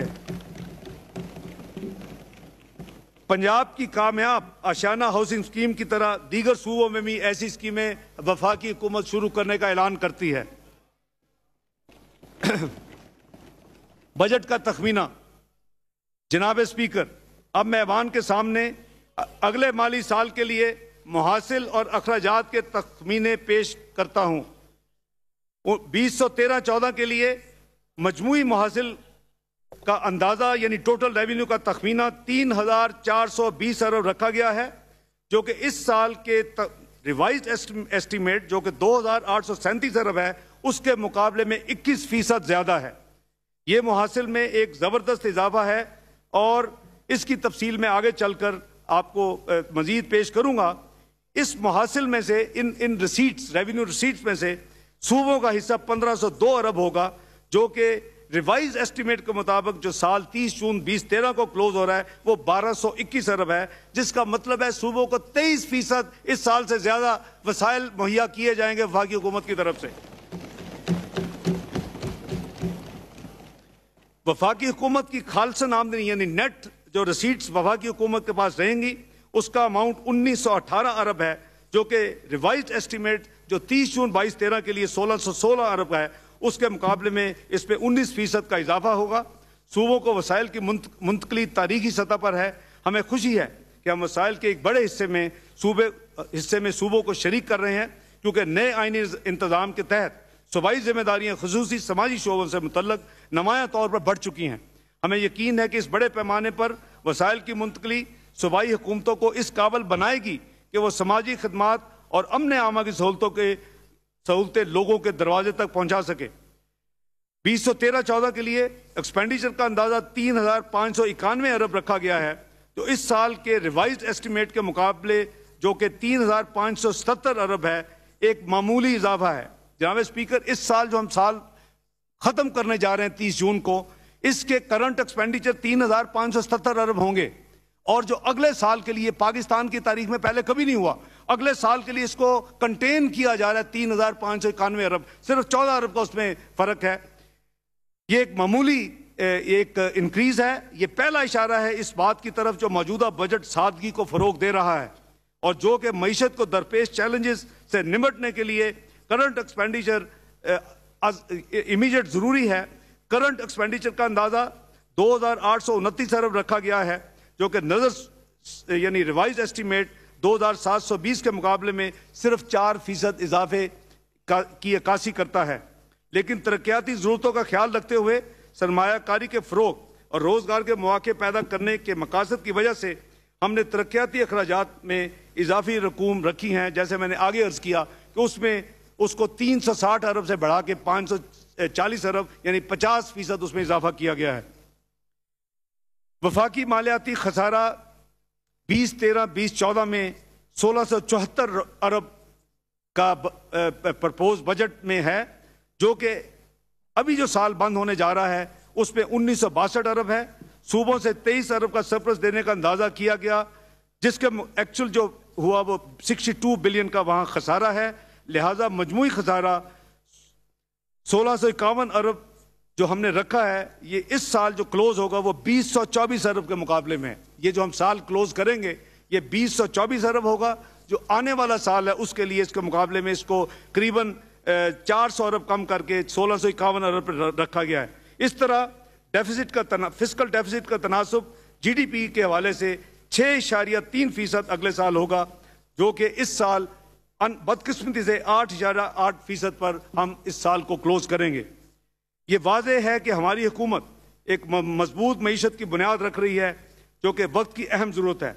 हम आसान रास्तों पर नहीं चल रहे, बल्कि नामसायद हालात से नबरत आजमा होने के लिए जिस दूर रस सोच और हमत अमली और दानशमंदी की ज़रूरत है, उसको सामने रखते हुए आगे बढ़ रहे हैं। मालियाती मालियाती खजारे में ढाई फ़ीसद अगले साल में कमी कोई मामूली हदफ नहीं।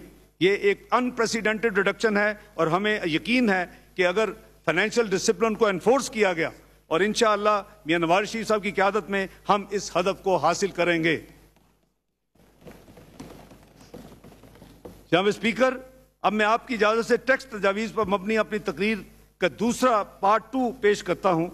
बहसीत कौम हमें ऐसे फैसले करने होंगे जिनसे पाकिस्तान अपने वसाइल पर भरोसा करते हुए कर्जा जात को कम कर सके और कौमी मुआशी तरजीहत पर तवज्जो दे सके। हमारी हुकूमत मुल्क में मजमू तौर पर इकतदी सरगर्मियों के फ़रोग सरमाकारी और कारोबार के लिए मौजा मौके पैदा करती है। जैसा कि हम सबको बखूबी इल्म है कि कारोबारी सरगर्मियाँ बढ़ने से रोज़गार के मौके बढ़ते हैं। मुल्क में बैरूनी सरमाकारी में इजाफा होता है। और नतीजतन मुल्क में अमन, अमान और खुशहाली कायम होती है।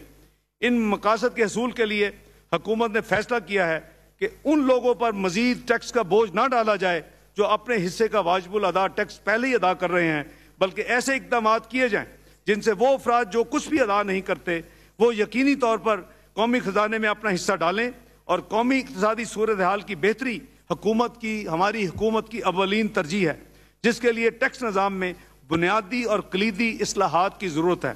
जनाब स्पीकर, मुस्लिम लीग नून की पिछली हुकूमत में tax G D P ratio करीबन तेरह इशारिया आठ फ़ीसद तक थी, जिसकी वजह टैक्स कवानीन को आसान बनाना, टैक्स, टैक्सों के दायरे को तोसी देना, निज़ाम में मौजूदा खराबियों को दूर करना, टैक्स मशीनी का मौसर एहतसाब था।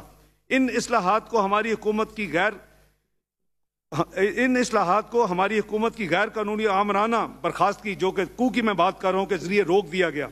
नतीजतन, टैक्सों और कौमी पैदावार के तनासब में बतदरीज तनजली शुरू हो गई।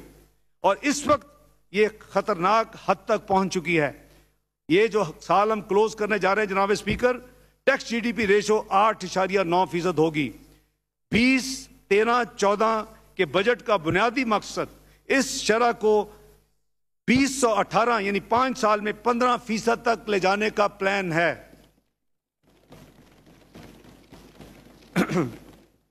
जनाब स्पीकर, मुल्क को इस वक्त जिस शदीद इकतदी मसाइल का सामना है, वो इस बात के मुतकाजी हैं कि हम अपने अंदरूनी वसाइल से मुहासिल को यकीनी बनाएँ और बैरूनी इमदाद और कर्ज़ों पर कम से कम इंसार करें।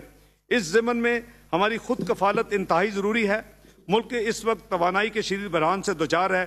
इस मसले के हल और हमारे गरीब आवाम की तकालीफ को दूर करने के लिए भारी सरमाए की ज़रूरत है। हमारी हुकूमत की टैक्स पॉलिसियों के जो चंद गाइडिंग प्रिंसिपल्स हैं, वो ये हैं। नंबर एक, टैक्स अदा ना करने वालों पर टैक्स लगाना। नंबर दो, टैक्स मशीनरी की सलाहियतों में इजाफा करना।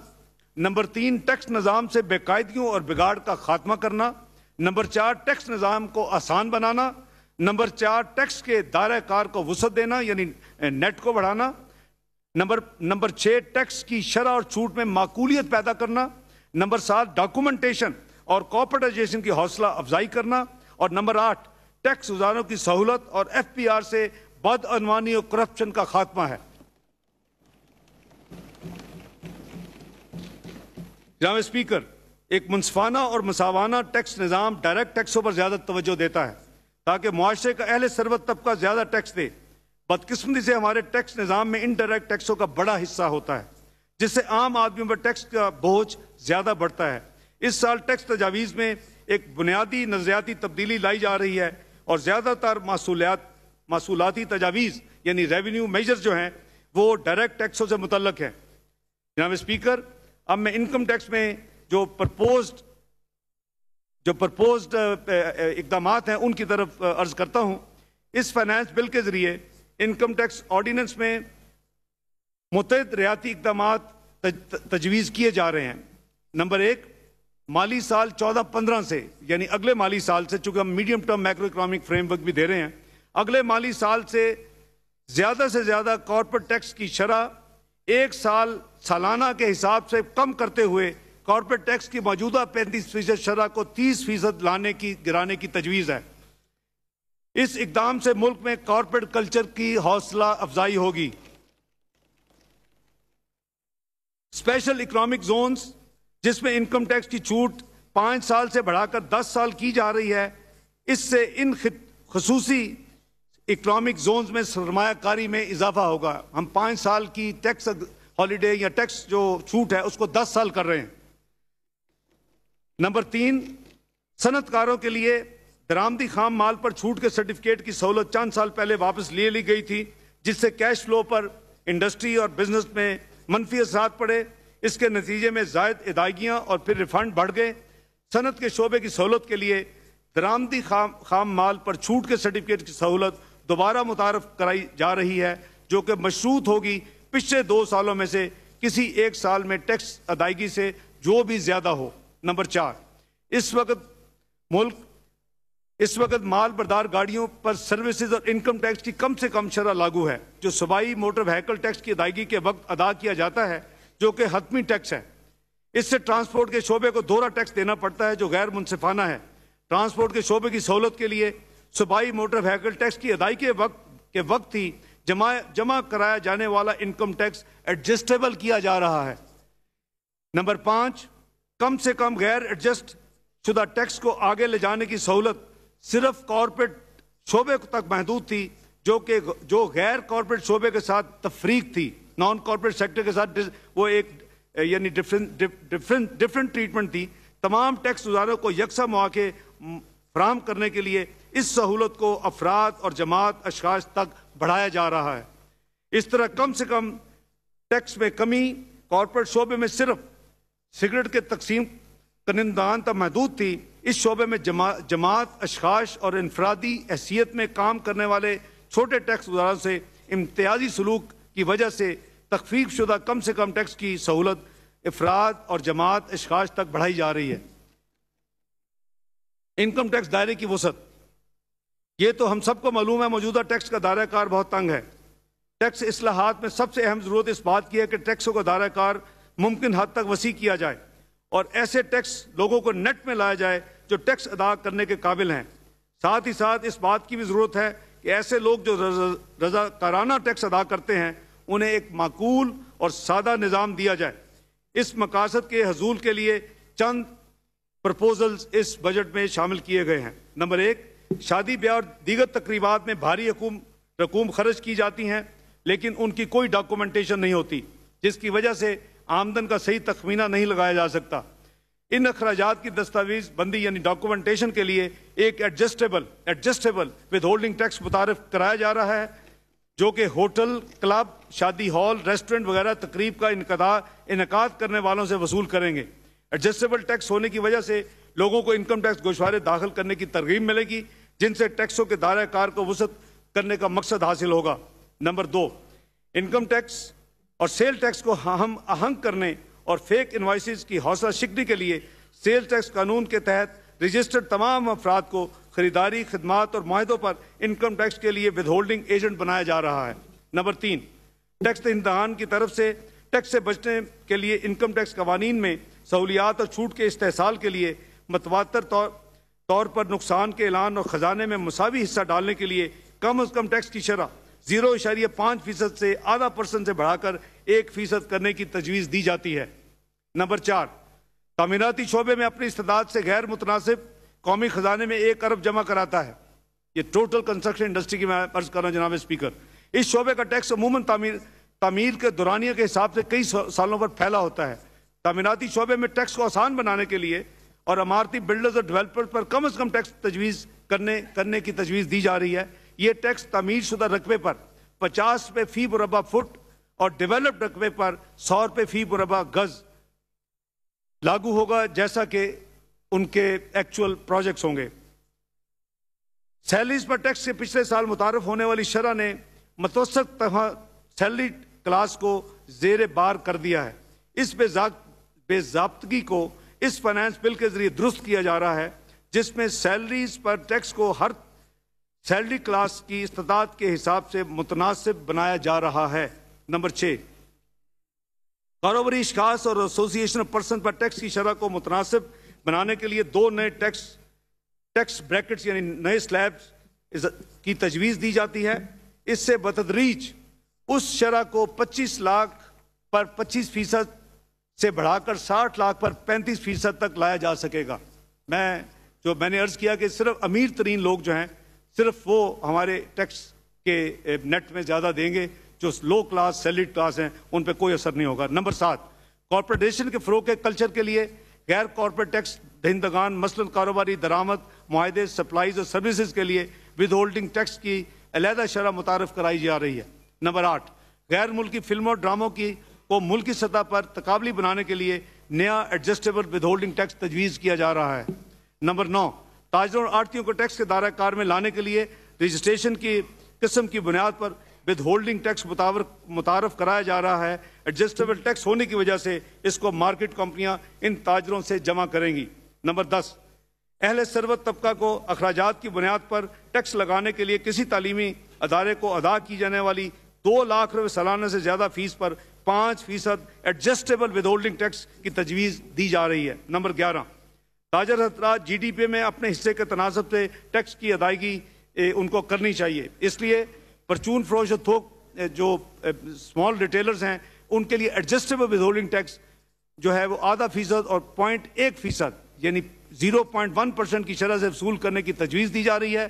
थोक, कारोबारी हजरात और ताजर जो डीलर्स हैं, उनकी शरह जो है वो ज़ीरो इशारिया पाँच से कम करके ज़ीरो इशारिया एक फ़ीसद कीजिए। ये टैक्स आज है, उसको हम कम करने जा रहे हैं। ये टैक्स सनतकार, तकसीम कुनंदगान और कारोबारी कारोबारी दराम, कुनंदगान वसूल करेंगे। नंबर बारह, जरी शोबा टैक्स की अदायगी से मुस्तना है, लेकिन इस सहूलत को नाजायज तौर पर गैर जरी आमदनी, यानी एग्रीकल्चर इनकम को अपनी टैक्स रिटर्न में दिखा, दिखाकर अपनी अपनी आमदनी को और अपने एसेट्स को बढ़ाने की एक सोर्स के तौर पे इस्तेमाल किया जा रहा है। इसलिए कानून के इस गलत इस्तेमाल को रोकने के लिए ये तजवीज़ दी जाती है इस ऐवान को कि जरी आमदनी का सिर्फ़ उसको रिकग्नाइज किया जाएगा जिस एग्रीकल्चर इनकम के ऊपर उस सूबाई अपनी रिस्पेक्टिव सूबाई हुकूमत को इनकम टैक्स कानून के मुताबिक पे होगा। ये जनाब स्पीकर ये एग्रीकल्चर टैक्स उन्नीस सौ अठानवे से लगा हुआ है। ये आइन में सूबों की ये डोमेन है और सूबे इसको लगा सकते हैं। उसका हम एहतराम करते हैं। लेकिन पूरे मुल्क में, पंजाब में सिर्फ़ सत्तर करोड़ और सिंध में सिर्फ़ तीस करोड़ आता है। एक एक बुनियादी तौर पे हमारी एक मुआशी एक एक जरी, एक मुल्क है, वो हमारी बैकबोन है। लेकिन हमें कुछ नहीं वसूल हो रहा। मैंने, हमने ये सोचा, हमारी हुकूमत ने, ये बेहतरीन तरीका है कि लोग बड़ी बड़ी जो इनकम अपने वेल्थ स्टेटमेंट डिक्लेयर करते हैं कि हमारी एग्रीकल्चर इनकम है, वो कम से कम ये साबित करें कि उसके ऊपर जो ड्यू टैक्सेस हैं, अब उस इनकम टैक्स सूबे को अपने को दें और फिर हम उसको फेडरल गवर्नमेंट में तस्लीम करेंगे। नंबर तेरह बैंकों से सार्फिन के मुतल मालूम के हसूल के लिए कानून को बैन अवी तौर पर राइज तरीक़ाकार से हम आहंग किया जा रहा है। इसका मकसद एफ़ पी आर में मौजूद कौमी डाटा को वेयर हाउस को टैक्स का दायरा कार बढ़ाने के लिए मुस्तकम करना है। नंबर चौदह टैक्स की बुनियाद को वसी करने के लिए एफ़ पी और नादरा की जमा की हुई मालूम को मनोजम तरीके से इस्तेमाल करने का फैसला भी किया गया है। ये इस हाउस में कमेटियों में दूसरे हाउस में ये तफस, जो तफसील पहले आ चुकी है पिछले चंद महीनों में। इस जिमन में माली लेन देन की बुनियाद पर निशानदेही के किए गए करीबन पाँच लाख अफराद के तफसीली खाके बनाए जाएँगे और इसके अलावा टैक्स की बुनियाद पर वसी करने के लिए कारोबारी जगह पर एन टी एन के नुमाइश एन टी एन नंबर की नुमाइश लाजमी होगी। इन इकदाम से अदारे की पहुँच में इजाफा होगा और रजाकाराना अमल दरामद के कल्चर को फ़रोग मिलेगा। Income tax support levy, act का नफाज। हम सब लोग जो मौजूद हैं जिन पर अल्लाह ताला ने अपना ख़ास फजल करम किया है हम सब का फ़र्ज़ है कि उन नादार लोगों की फलाह बहबूद के लिए अपना हिस्सा डालें जो इत, जो इतने खुशकस्मत नहीं। काफ़ी तादाद में ऐसे लोग हैं जिन्होंने बाहर के मुल्कों में अपनी जिनकी इनकम हुई लेकिन पाकिस्तान में वो अब आ चुके हैं और मुल्की कवानीन और दूसरे टैक्सों जो मौजूदा निज़ाम है वो उसमें अपना कोई हिस्सा नहीं डाल ले। यकीनन हमारे मुआरे के नदार तबके का बोझ हर एक पर डलना चाहिए। मुल्क के गैर गरीब खानदानों तक इनकम सपोर्ट प्रोग्राम को वसत देने के लिए इजाफी सरमाए की ज़रूरत है। लिहाजा तजवीज़ है कि ऐसे साहब जादाद लोगों पर मामूली लेवी लागू की जाए। ये लेवी किसी शख्स को मूवेबल एसेट्स पर 0.5 आधा फ़ीसद सिर्फ़। आपने मूवेबल एसेट्स उस पर उसमें आपकी प्रॉपर्टीज़ और अपनी ज़मीनें अपने घर वो नहीं है क्योंकि क्योंकि वो आइन के मुताबिक सूबों का एक डोमेन है।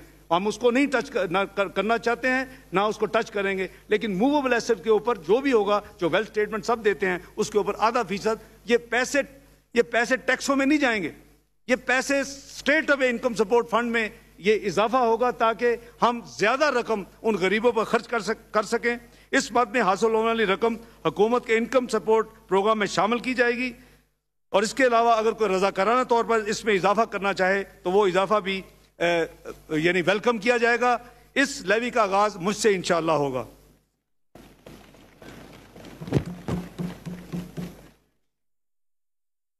सेल टैक्स और एक्साइज ड्यूटी। सेल टैक्स से दायरा कार में वसत के लिए मुतद इकदाम तजवीज़ किए जा रहे हैं और ऐसे अफराद को नेट टैक्स नेट में लाया जा रहा है जो अब तक उससे बाहर थे। हमारी पॉलिसी है कि जो अफराद गैर रजिस्टर्ड हैं अनरजिस्टर्ड उन पर टैक्स का बोझ रजिस्टर्ड अफराद से ज़्यादा हो। इस हवाले से जो तजवीज़ है, मैं मैं अर्ज़ करता हूँ, नंबर एक, सनती और कारोबारी बिजली के कनेक्शन रखने वाले कमर्शियल और इंडस्ट्रियल कनेक्शन रखने वाले अनरजिस्टर्ड लोगों लोगों पर पाँच फ़ीसद की शरह से इजाफी सेल टैक्स वसूल किया जाएगा। अगर वो अपनी रजिस्ट्रेशन करवा लें तो ये इजाफी टैक्स लागू नहीं होगा। ये फौरी तौर पर ख़त्म हो जाएगा। नंबर दो अनरजिस्टर्ड अफराद को की को की गई तमाम काबिल टैक्स सप्लाईज पर मजीद दो फ़ीसद दो फ़ीसद सेल टैक्स आयद किया जा रहा है अनरजिस्टर्ड को सिर्फ़। ताकि रजिस्ट्रेशन की हौसला अफजाई हो और रजिस्ट्रेशन कराएँ, उसके बाद उन पर यह टैक्स लागू नहीं होगा। ये सिर्फ़ टैक्स नेट को बढ़ाने के लिए जनाबे जनाबे स्पीकर और जो इविजन होती है, उसको रोकने के लिए इकदाम किए जा रहे हैं। Sale tax with holding agent ऐसे गैर रजिस्टर्ड अफराद से खरीदारी पर मुकम्मल रकम विद होल्डिंग विद होल्ड करेंगे। नंबर चार जो दरामदी इकदाम तजवीज़ किए जा रहे हैं, जिनसे टैक्स मशीनी की सलाहियत और अमल दरामद की इस्तार में इजाफा होगा, उनमें से चंद इकदाम उसमें से मैंने अर्ज़ किए हैं। नंबर पाँच, ऐसे शोबे में जिनमें टैक्स चोरी के इम्कान ज़्यादा हैं, वहाँ पर तमाम पैदावारी मरहल की वीडियो लिंकिंग, इलेक्ट्रॉनिक मॉनिटरिंग, निगरान, निगरानी के ज़रिए निगरानी की जाएगी, बशमूल tax, stamp, label, electronic etcetera ऐसे शोबों से इंसानी मुदाखलत के बगैर मौसर निगरानी के ज़रिए शफाफ, खुदकार और गलतियों से मुबर्रा तरीक़ाकार के तहत एक शफाफ निज़ाम के ज़रिए टैक्स वसूली मुमकिन हो सकेगी। नंबर छः एफ़ पी आर ने पहले ही क्रस्ट के नाम से एक जदीद कंप्यूटराइज निज़ाम तैयार किया है, जिससे जिससे पिछले दिनों टेक्सटाइल सेक्टर से अरबों रुपए की निशानदाही और वसूली में मदद मिली। इस निज़ाम की की इस्तात कार को, इसकी कैपेसिटी को मजीद बढ़ाकर इसको इसको एक्सपेंड किया जाएगा और दीगर शोबा जात में रेवेन्यूज़ की कलेक्शन के लिए उसकी ये निज़ाम को इस्तेमाल किया जाएगा ताकि वो आइडेंटिफाई करे टेक्सटाइल सेक्टर के कहाँ हुकूमत को ज़्यादा इनकम और रेवेन्यू वसूल हो सकते हैं। नंबर सात, ये भी तजवीज़ दी जा रही है कि गैर कानूनी रिफंड्स और इनको इन इनपुट टैक्स एडजस्टमेंट के ज़रिए जो जाली और फ्लाइंग इन्वाइसिस की रोकथाम के लिए एक सहल और मरकजी निज़ाम मुतारफ कराया जाए ताकि जाली रजिस्टर्ड अफराद को टैक्स फ्रॉड करने से रोका जा सके। नंबर आठ, काबिल टैक्स सरगर्मियों की मुनासिब निगरानी के लिए रजिस्टर्ड अफराद की रजिस्ट्रेशन इन अमल, अमलदारियों में रखी जाएगी जो उनकी कारोबार जायदाद में वाक़ हो। नंबर नौ, मुआशी जराए की संगीन कमी के पेश नज़र ज़रूरी है कि इजाफी जराए का बंदोबस्त किया जाए। लिहाजा तजवीज़ है कि सेल टैक्स की मायरी शरह सोलह फ़ीसद से बढ़ाकर सत्रह फ़ीसद कर दी जाए। नंबर दस बैन अवी टेंडर्स के तहत सप्लाईज पहले ज़ीरो रेटेड हुआ करती थी, लेकिन उन्हें बीस बारह में इस्तना कर दिया गया ज़ीरो रेटेड से एग्ज़ाम कर दिया गया, ताकि रिफंड की तख्लीक और उससे मुंसलिक बदनवामियों की रोकथाम हो सके। लेकिन इस इस कदम से मुकामी कारोबारी हरीफों के लिए इंतहाई मुश्किल रिपोर्ट की गई हैं। क्योंकि अब मजीद इनपुट टैक्स एडजस्टमेंट का दावा नहीं कर सकते। चुनाचे गैर मुल्की टेंडर्स के लिए, मुकामी और गैर मुल्की कारोबारी हरीफों को मसावी मौके की फ्राहमी के लिए यकसा टैक्स निज़ाम के तहत इस अदम मसावत को मुल्की व गैर मुल्की दोनों कारोबारी हरीफों के लिए दूर करने का फैसला किया गया है। नंबर ग्यारह, मुकामी सप्लाईज पर ज़ीरो रेटेड सेल टैक्स से अदम मसावत पैदा होती है, जिससे बेकायदियाँ मुमकिन होती हैं। लेकिन चूँकि इनमें से ज़्यादातर एशिया आम आदमी के ज़रिए इस्तेमाल रहती हैं इसलिए इन अशिया पर सेल टैक्स नाफिज नहीं किया जा रहा और इनको सेल टैक्स से एग्जम्प्ट किया जा रहा है। नंबर बारह थर्ड शेड्यूल की एशिया की फहरिस्त को सेल टैक्स एक्ट तक वसत देने का फैसला किया गया है। इन इससे ना सिर्फ़ सनतकारों और, और दरामद कुनिंदगान को इस्तेमाल की एशिया पर खुर खुर्दा कीमत लिखना पड़ेगी यानी उसको आइडेंटिफाई बल्कि गैर रजिस्टर्ड आड़ती और परचून फरोशों के फ़ायदे की बजाय हुकूमत को परचून की सतह पर टैक्स हासिल करने में मदद होगी। नंबर तेरह जिन पाँच बरामदी शोबों के लिए मुकामी सप्लाई की सिफर की सिफर शरह को पिछले दिनों ख़त्म करके तकफीक तकफीफ शुदा शरह के तहत लाया गया था, वो पिछले पाँच साल से ये सहूलत हासिल कर रहे हैं। लेकिन दो फ़ीसद की ये शुदा यानी रिड्यूस्ड शरह जो है, कीमती दरामदी एशिया जैसे ब्रांडेड बलबूसात, चमड़े के बैग और खेलों के सामान पर भी लागू की जा रही हैं।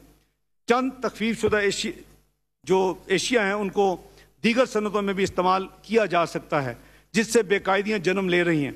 इस मसाइल के तदारक के लिए तैयार माल और इस्तेमाल की अशिया को इस तकफीफ शुदा इस रिड्यूस शरह के निज़ाम से बाहर निकाला जा रहा है। नंबर चौदह, इस वक्त हालात के तनाजर में बीस दस में कबायली इलाका जात और खैबर पख्तून का चंद अजला में ड्यूटी और टैक्सेस के, को एक अमूमी, एक जनरल एग्जामेशन दी गई थी।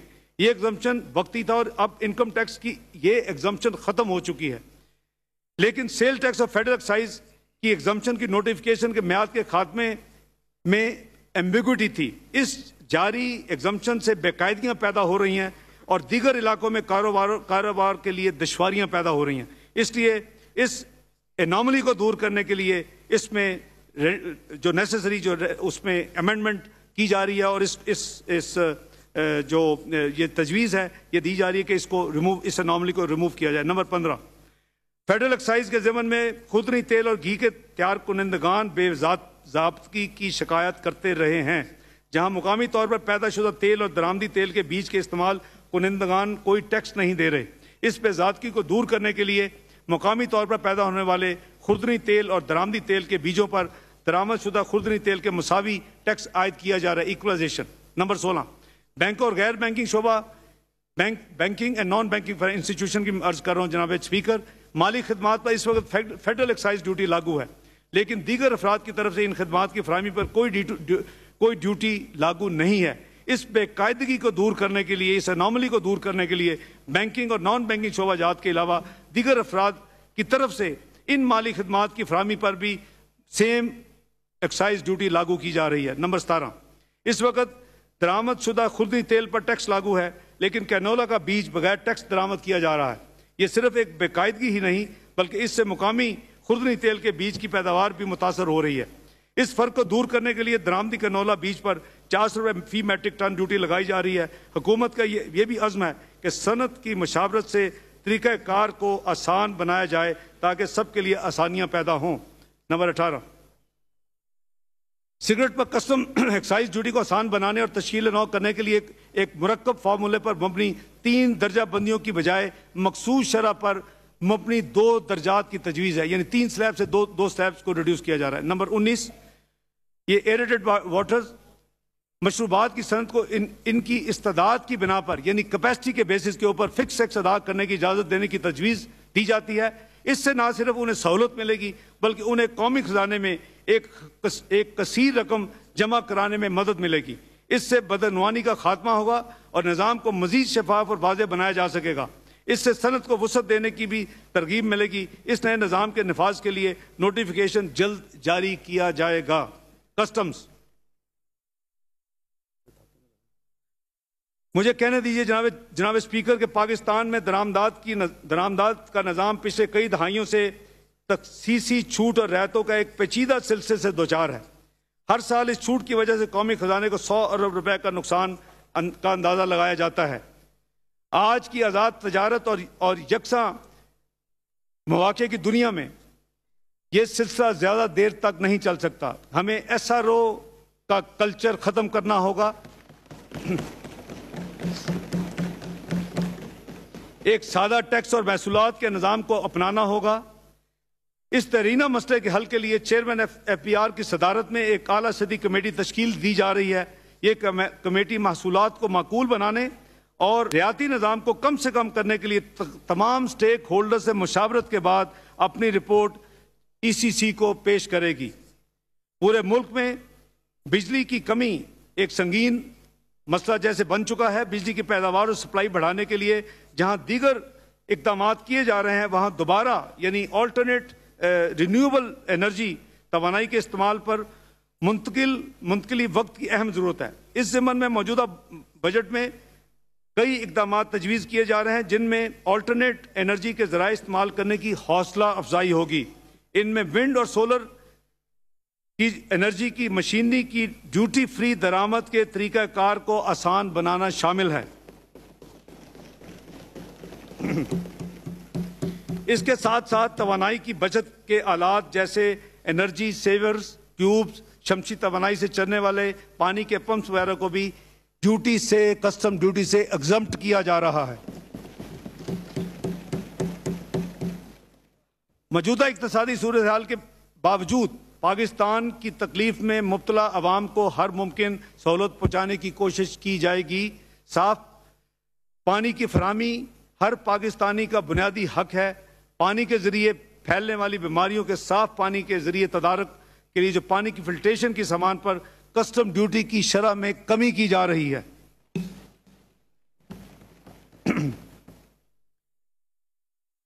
दरामदशुदा पी ओ एल यानी पेट्रोल मसनूआत का तोानाई हासिल करने के बड़े ज़रिए के तौर पर इस्तेमाल ने ना सिर्फ़ इम्पोर्ट का खर्च बढ़ा दिया है फॉरन एक्सचेंज की रिक्वायरमेंट ज़्यादा कर दी है, बल्कि इन्वायरमेंट पर भी इसका मनफी असरा मुरतब हुए हैं।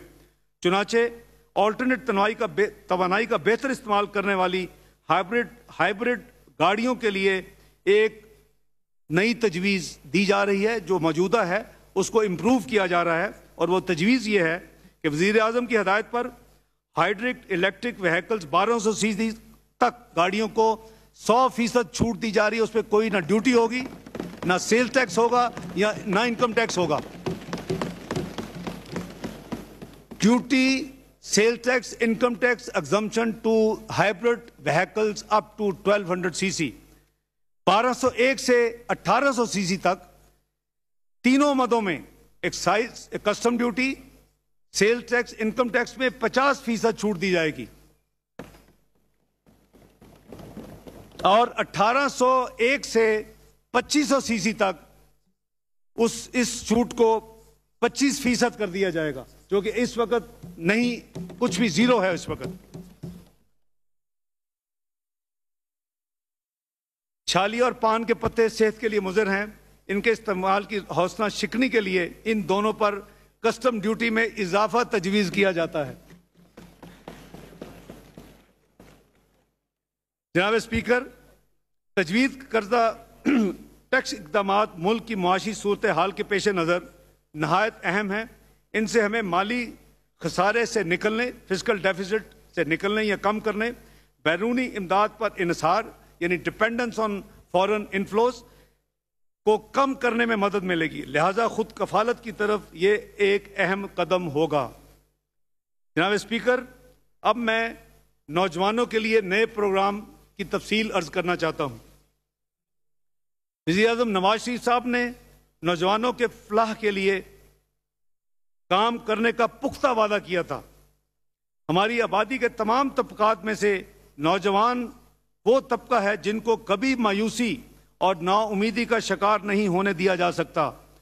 हमने वज़ीर अजम के वादे की तकमील के लिए मंदरजा झैल प्रोग्रामों की तश्कील दी है। नंबर एक वज़ीर अजम का youth training programme P M youth training programme मुस्तबिल के लिहाज से नौजवानों में सबसे ज़्यादा गैर महफूज वो नौजवान हैं जिन्होंने 16 साल तलीम हासिल की, लेकिन उनको कोई अच्छी नौकरी ना मिल रही हो। सिर्फ़ इस वजह से कि उनके पास अभी तजर्बा और ट्रेनिंग नहीं। जनाब स्पीकर वज़ीर अजम साहब, की सबसे बड़ी ख्वाहिश यह है कि हुकूमत इन पढ़े लिखे नौजवानों का हाथ थाम कर उनकी ज़िंदगी में यकीन महकम दे। इसलिए उन्होंने ये हदायत दी है कि इन नौजवानों के लिए हकूमती दफातर सरकारी कॉरपोरेशनों में और दीगर हुकूमती मराकज में एक जावेद स्कीम तरतीब दी जाए। वो तमाम नौजवान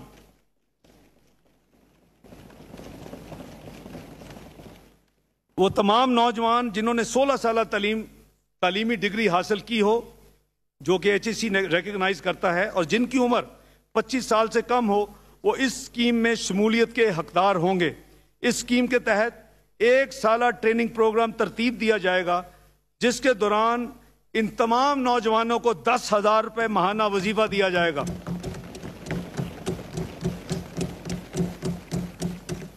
वजारत तालीम, ट्रेनिंग और आला तलीमी मैार इस स्कीम को अमली जामा पहनाएगी। स्कीम के तहत दिलचस्पी रखने वाले नौजवान ऑनलाइन अपनी अपनी दरख्वास्तें जमा करवाएँगे। उनकी तालीमी असनाद की तस्दीक, हायर एजुकेशन कमीशन भी ऑनलाइन करेगी।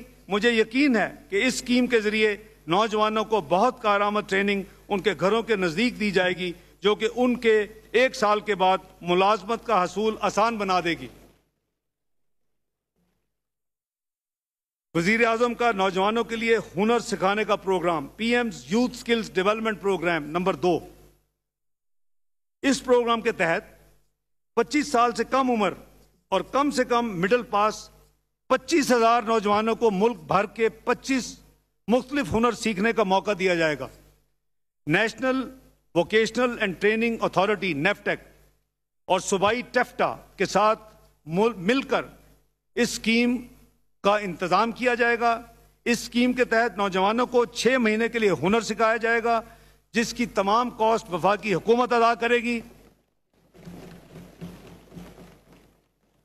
इस स्कीम के तहत ये मिडिल पास लोग ये हुनर सीखने के बाद इन जब बैरूनी ममालिक में जाएँगे तो इन वो एक सेल्फ एम्प्लॉयमेंट या बैरूनी ममालिक में एक बेहतर अच्छा उनके लिए रोज़गार, इंशाल्लाह मैसर होगा। नंबर तीन, स्मॉल बिज़नेस लोन स्कीम। इस स्कीम के तहत नौजवानों को छोटे कारोबार शुरू करने के लिए कर्जों की सहूलत मुहैया की जाएगी। कर्जों की हद एक लाख से बीस लाख रुपए होगी। मार्कअप की शरह सिर्फ़ आठ फ़ीसद होगी। बकाया हुकूमत जो मार्कअप होगा उसका डिफरेंस, ये बैंक चलाएँगे, ये स्कीम हुकूमत नहीं चलाएगी।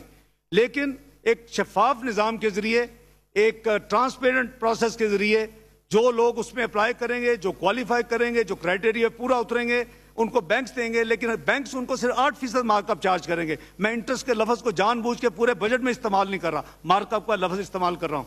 वो आठ फ़ीसद के अलावा, आठ फ़ीसद के अलावा जो जो मार्कअप होगा, वो वफाकी हुकूमत वो बर्दाश्त करेगी और ये स्कीम पचास हज़ार नौजवानों को कर्जे मुहैया किए जाएँगे स्कीम के तहत। नंबर चार वज़ीर आज़म की लैपटॉप स्कीम। नौजवानों की इंफॉर्मेशन एंड कम्युनिकेशन टेक्नोलॉजी तक रसाई को फरोग देने के लिए यह फैसला किया गया है कि आला तलीम याफ्ता, आला तालीम हासिल करने वाले जहीन नौजवानों को लैपटॉप मुहैया किए जाएँगे। वो तमाम तालब इलम जो किसी भी हायर एजुकेशन कमीशन की मंजूर शुदा यूनिवर्सिटी या तलीमी इदारे में आला तलीम हासिल कर रहे होंगे, इस स्कीम में शामिल होने के हकदार होंगे। लैपटॉप को मुहैया, लैपटॉप को लैपटॉप को मुहैया करने का मैार हायर एजुकेशन कमीशन तरतीब देगी। एक ट्रांसपेरेंट प्रोग्राम होगा और जिसके ऐलान जल्द हायर एजुकेशन कमीशन के साथ मिलकर किया जाएगा। इसके लिए बजट में तीन अरब रुपए की रकम मुख्त की गई है। जनाब, स्पीकर नंबर पाँच fee payment scheme for students of less developed area इस स्कीम के तहत कम तरक्की याफ्ता इलाकों के वो तालब इलम, जो कि किसी पब्लिक सेक्टर यूनिवर्सिटी में मास्टर्स या डॉक्टरेट की तालीम हासिल कर रहे हैं उनको हुकूमत की तरफ़ से ट्यूशन फ़ीस की अदायगी की सहूलत फराम की जाएगी। इस वक्त ये सहूलत बलोचिस्तान फाटा और गिलगित बल्तिस्तान के तालब इलमों को हासिल है। कोई ऐसी वजह नहीं कि यह सहूलत मुल्क के दीगर पसमानदा इलाकों तक ना पहुंचाई जा, जाए। जैसा कि अंदरून सिंध और जनूबी पंजाब की मुल्तान बहावलपुर और डीजी खान डिवीज़न यकसा तौर पर पसमानदा है। चुनाचे अगली माली साल से अंदरून सिंध और जनूबी पंजाब की तीनों डिवीज़न मुल्तान, बहावलपुर, डीजी खान के मास्टर्स और डॉक्टरेट्स के जो तालब इलम होंगे एचईसी के साथ कनेक्टेड, उनकी फीसें भी वफाकी हुकूमत अदा करेगी।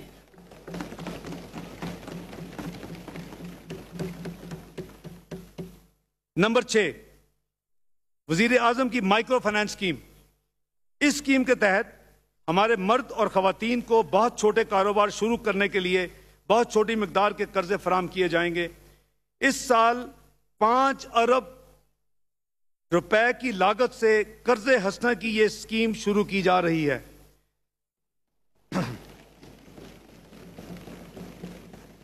इस पर कोई मार्कअप हुकूमत चार्ज नहीं करेगी। ये जिनको कर्जे कर्जे दिए जाएँगे, शफाफ निज़ाम के तहत वो कर्जे हंसना होगा। वो उसके ऊपर ज़ीरो मार्कअप देंगे उनसे कोई उसकी उसका मुनाफा नहीं लिया जाएगा। और ये स्कीम माइक्रो फाइनेंस जो अदारे हैं जो मुल्क में क्रेडिबल अदारों के ज़रिए स्कीम को इसको यानी इंप्लीमेंट किया जाएगा जिसमें खुवत एनआरएसपी और और सूबाई आरएसपीज हैं चारों सूबों की उसके ज़रिए स्कीम को घर घर पहुँचाया जाएगा। और इसमें एक शर्त होगी वज़ीर आज़म की हदायत पर यह इस, इसमें एक शर्त रखी गई है कि इससे इस्तफादा हासिल करने वालों में कम अज कम पचास फ़ीसद खातन होंगी।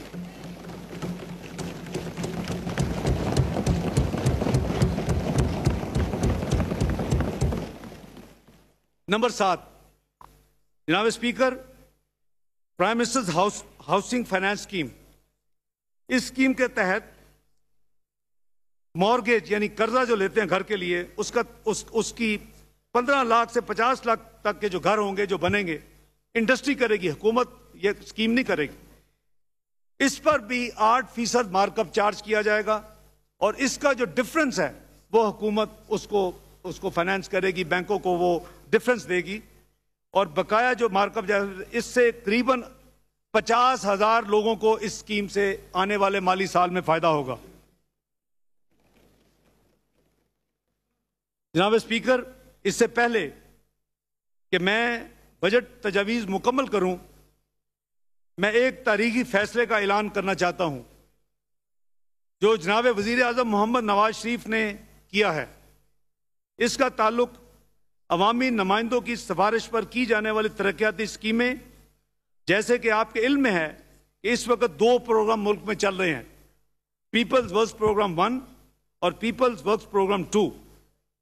एक कदीम प्रोग्राम है और इसमें अमल दरामद से मुतलक वाज असूल वजह किए गए हैं। पी, मैं पीपल्स वर्क प्रोग्राम वन की बात कर रहा हूँ। पार्लियामेंटेरियंस के लिए जो है इसके ज़रिए बिला इम्तियाज़ तमाम किस जमात से ताल्लुक है उसका कोई उससे उस, उसका अमल बिला इम्तियाज़ इस स्कीम के तहत तमाम अवामी नुमाइंदों को छोटी तरक्याती स्कीमों से मुतलक अपनी सिफारशात देने का हक होगा जैसे अब है। ये प्रोग्राम जारी रहेगा। इसका नया नाम तामीर वतन प्रोग्राम होगा। और ये पहली दफ़ा नहीं हो रहा। ये हमेशा ये शटल होता रहता है नाम इसका। मैं आपकी तव, असल तवज्जो दूसरे प्रोग्राम की तरफ़ जनाब जनाब स्पीकर लाना चाहता हूँ इस ऐवान की। वो दूसरा प्रोग्राम जिसका नाम पीपल्स वर्क्स प्रोग्राम दो है वो बड़ी विद ड्यू रिस्पेक्ट वो किसी असूल और जबते के तहत नहीं चल रहा था इस मुल्क में। जिसमें उस, वो एक डिस्क्रिशनरी प्रोग्राम था जिसमें सिर्फ़ और सिर्फ़ वज़ीर आज़म की जाती सवाबदीद पसंद और नापसंद का दखल था। इसमें इब्तदा के तौर पर 20 बारह, बीस तेरह के लिए 22 अरब रुपए रखे गए। लेकिन ये साल जो खत्म होने जा रहा है, इसमें बैतालीस अरब रुपए पीपल्स वर्क्स प्रोग्राम दो के तहत खर्च किए जाएँगे और खर्च किए जा चुके हैं, रादर। इतनी खतीर रकम, बगैर किसी किस्म के असूलों को वजह किए हुए डिस्क्रिशनरी पावर्स के तहत अच्छे तर्ज हुक्मरानी के खिलाफ है। हम बेहतर तर्ज हुक्मरानी का वादा आवाम से कर चुके, करके इस ऐवान में आए हैं। लिहाजा मियाँ नवाज़ शरीफ साहब ने यह फैसला किया है कि यह हमारी ज़िम्मेदारी है कि इस नौीयत के अखराज का फिलफौर खात्मा हो और इससे बचने वाले वसाइल आवाम की फलाह बहबूद पर ट्रांसपेरेंट तरीके के साथ दूसरे मनसूबों तरक्याती मनसूबों पर खर्च किए जाएँ। लिहाजा वज़ीर आज़म की पीपल्स वर्क प्रोग्राम दो के प्रोग्राम को हमेशा के लिए ख़त्म किया जा रहा है।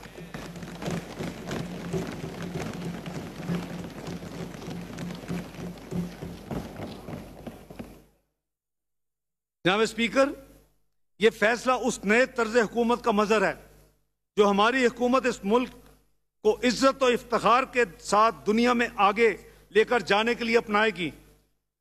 हालिया दिनों में, जनाब स्पीकर, कौम के सामने ये अफसोसनाक अफसोसनाक बात आई कि सीक्रेट सर्विस अखराज के नाम पर वजारतों और महकमों के एक तवील फहरिस्त है, जो ऐसे अखराज से मुतलक ऑडिट के दायरे कार से बालातर हैं।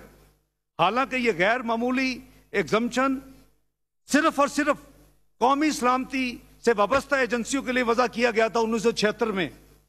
हमने फौरी तौर पर इस सूरत हाल का नोटिस ले लिया है। और यह फैसला किया है कि इस तरह का कोई भी खर्चा कौमी सलामती से वाबस्ता एजेंसीज के अलावा किसी भी मिनिस्ट्री को, किसी भी डिवीज़न को, किसी भी ऑर्गेनाइजेशन को, किसी भी ऑटोनस बॉडी को नहीं होगा।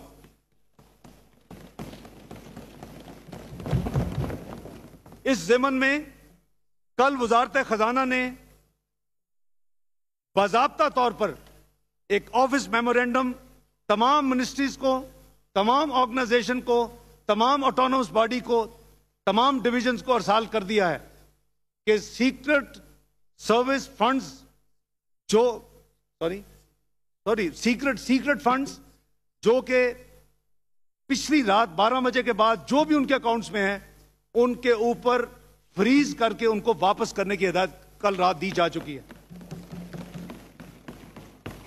अगले माली साल के लिए, अगले माली साल के लिए जो मुख्तलिफ़ मिनिस्ट्रीज ने, जो आदि हो चुकी हैं और जो एक स्टैंडर्ड हेड ऑफ़ अकाउंट में वो पैसे लेती थी साला साल से, उस हेड ऑफ़ अकाउंट को बंद कर दिया गया है और आंदा माली साल में जो पिंक बुक में यह अमाउंट होगा, उसको उसको कैंसिल कर दिया गया है, उस पर बैन लगा दिया गया है और एजीपीआर को यह हदायत रिटर्न कल रात कर दी गई है कि इस मत के तहत वहाँ सवाए नेशनल सिक्योरिटी एजेंसी जो कि दो हैं, किसी को इस रकम से एक पैसा नहीं दिया जाएगा। जी?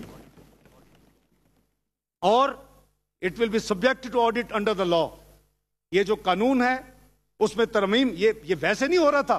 ये बाकायदा अप्रूवल के साथ ये आहिस्ता आहिस्ता बढ़ा है। मैंने जैसे अर्ज़ किया कि उन्नीस सौ छिहत्तर में जनाब स्पीकर, ये सिर्फ़ दो दो एजेंसीज को यह ऑथोराइज था, जो कि मुल्क की मफाद में अगर उनकी ज़रूरत आज भी है, लेकिन ये बढ़ता बढ़ता उस उस लॉ में अप्रोप्रिएट अमेंडमेंट्स की जा रही हैं इस बिल के ज़रिए, जब आपके पास फाइनेंस बिल आएगा। We should all rise to the occasion जब तक एग्जेक्टिव अपना काम खुद नहीं करेगी, दूसरे अदारे आपको बताएँगे कि कैसे करना है। मैं समझता हूँ कि हम हम सबकी कलेक्टिव ज़िम्मेदारी है, जमहूरी जमातों की, कि हम खुद अपने काम करे ताकि किसी को यह मौका न दें कि वो हमारे काम को ना सिर्फ़ तनकीद का निशाना बनाए, बल्कि हमें यह डायरेक्ट करें कि आप ये करें। तो इस, इसी स्पिरिट के तहत हमने कल रात इस इस सीक्रेट फंड्स की लानत को हमेशा के लिए खत्म कर दिया है। जनाब स्पीकर, उन्नीस सौ सतानवे में वज़ीर अजम मियाँ मोहम्मद नवाज़ शरीफ ने वी वी आई पी की ज़ाती इस्तेमाल के लिए एक्सपेंसिव मर्सिडीज और दूसरी तीन हज़ार सी सी की गाड़ियाँ जो कि ड्यूटी फ्री इंपोर्ट होती थी इस मुल्क में, बगैर ड्यूटी और टैक्सेस दिए हुए, एक मिनिस्ट्री ऑफ़ कॉमर्स उसको एक एग्जामेशन देती थी। नतीजतन उनके हुक्म के मुताबिक इंपोर्ट मेरे ऐलान करदा इंपोर्ट पॉलिसी ऑर्डर उन्नीस सौ अठानवे में इंपोर्ट एक्सपोर्ट प्रोसीजर की एंट्री नंबर एक इशारिया पंद्रह हजफ कर दी गई थी, जो कि ऐसी गाड़ियों की दरामद की इजाज़त देती थी। मियाँ मोहम्मद नवाज़ शरीफ ने इस डिस्कशन को भी हमेशा के लिए दफन कर दिया था। जिस जिस जिस शिक के तहत मिनिस्ट्री ऑफ़ कॉमर्स को इजाज़त देती थी, उसको डिलीट कर दिया था, लेकिन बदकिस्मती है इस मुल्क की कि 2005 में इस शिक की खिलाफ वर्जी करते हुए दोबारा चंद वीवीआईपी को duty free taxes free income tax free sale tax free गाड़ियों की दरामद की इजाज़त दी गई। हम, हमारी हुकूमत और वजी नवाज़ शरीफ ने दोबारा फैसला किया है कि हम उस बैन को दोबारा लागू कर रहे हैं और आइंदा किसी भी वीवीआईपी को ड्यूटी पे किए बगैर सेल टैक्स पे किए बगैर इनकम टैक्स पे किए बगैर कोई गाड़ी लाने की मुल्क में इजाज़त नहीं होगी। जनाब स्पीकर, हम मुश्किल हालात से गुजर रहे हैं। लिहाजा हम पर लाजिम है कि जिस हद तक मुमकिन हो, हम अपने अखराज में कमी करें। कफायश शायरी की खातर हम नए बजट में चंद इकदाम उठा रहे हैं। नंबर एक, हमारी नज़र में वक्त की अहम तरीन ज़रूरत है कि हुकूमत बेजा फैलाव को रोके। लिहाजा हमने फैसला किया है कि हमारी वजारतें, जनाब वज़ीर अजम ने फैसला किया कि हमारी वजारतें चालीस से कम हो, होंगी, जो बल्कि आइन में तो इसकी गुंजाइश उनचास तक है। हमें मालूम है कि यह तादाद आइन में जो मुतन है, उससे कम है। लेकिन हकीकत यह है कि हम जिस लम्हे से गुजर रहे हैं, उसका तकाजा सादगी कफायत शारी और अखराजात में कमी का रास्ता अपनाना है। और यही सोच, और यही सोच इस फैसले के पीछे कार फरमा है। अखराजात की ख्वाहिश शारी का अमल खुद जनाब वज़ीर अजम अपने दफ्तर से शुरू कर रहे हैं। उन्होंने अपने दफ्तर के जो एलोकेटेड जो हमारे आने से पहले जो प्रपोज बजट था, उसमें और जो पिछले साल का रिवाइज एस्टिमेट है, जो सात सौ पचपन सात सौ पच्चीस मिलियन था, बहत्तर करोड़ पचास लाख। उनकी हदायत पर उसमें पैंतालीस फ़ीसद की कमी कर दी गई है।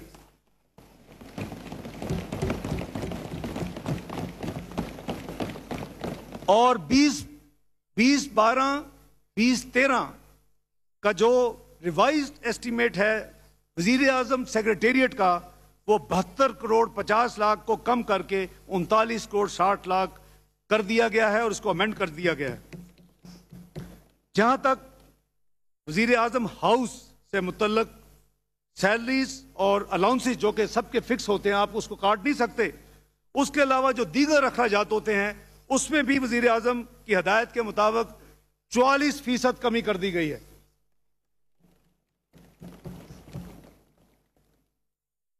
सवाए वाजिब यानी ऑब्लिगेटरी अखराज के, यानी कर्जों की वापसी, दिफा सरकारी मुलाजमीन की तरहाएँ सब्सिडीज ग्रांट्स वगैरह के अलावा जो वज़ीर अजम ने जो ऑस्टेरिटी का एक मैसेज और एक एक हुक्म दिया है, तीस फ़ीसद कमी का, उसको लागू किया जा रहा है, जिसके नतीजे में 40 अरब रुपए की बचत होगी वफाकी हुकूमत को।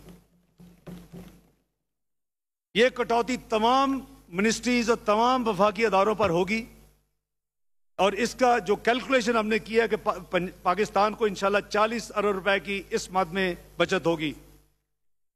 नए नई कारों की खरीदने पर मुकम्मल पाबंदी होगी। सवाए ऐसी गाड़ियाँ जो कानून नाफिज करने वाले अदारे और तरक्याती मंसूबों के लिए नागुजीर होंगी। एक और वजी अजम की हदायत पर एक और फैसला किया गया है। वजरा का जो कई डेकेट से जो डिस्क्रेशनरी फंड होता है हर हर वज़ीर का, हर वज़ीर मुमलकत का। और वो वो अपने डिस्क्रेशन के तहत डिस्क्रेशन का लफज मियाँ मोहम्मद नवाज़ शरीफ की डिक्शनरी में नहीं है। उस डिस्क्रेशनरी फंड को तमाम वजरा वजरा मुमलकत को आज से ख़त्म किया जा रहा है।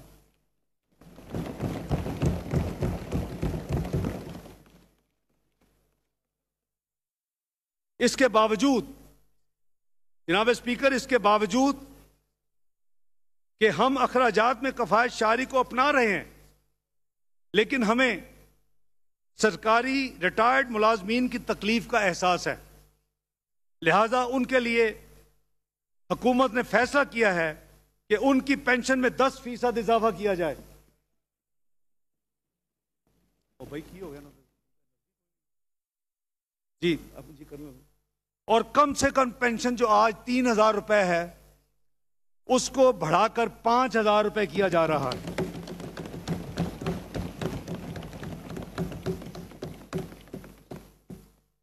जनाब स्पीकर, अवामी रिलीफ की खातर हुकूमत ने रमज़ान के मुकदस महीने में, जिसकी आमद आमद है, यूटिलिटी स्टोर्स के ज़रिए ट्रांसपेरेंट तरीके के साथ जो असेंशियल कमोडिटीज़ हैं, उसमें कीमत, उसकी कीमतों में रियायत देने का फैसला किया है।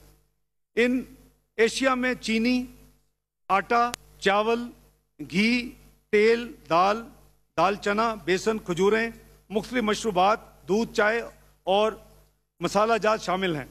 इस मकसद के लिए हमने अगले बजट में, आने वाले बजट में, यानी अगले महीने रमज़ान शरीफ है, दो अरब रुपए की रकम एलोकेट की है।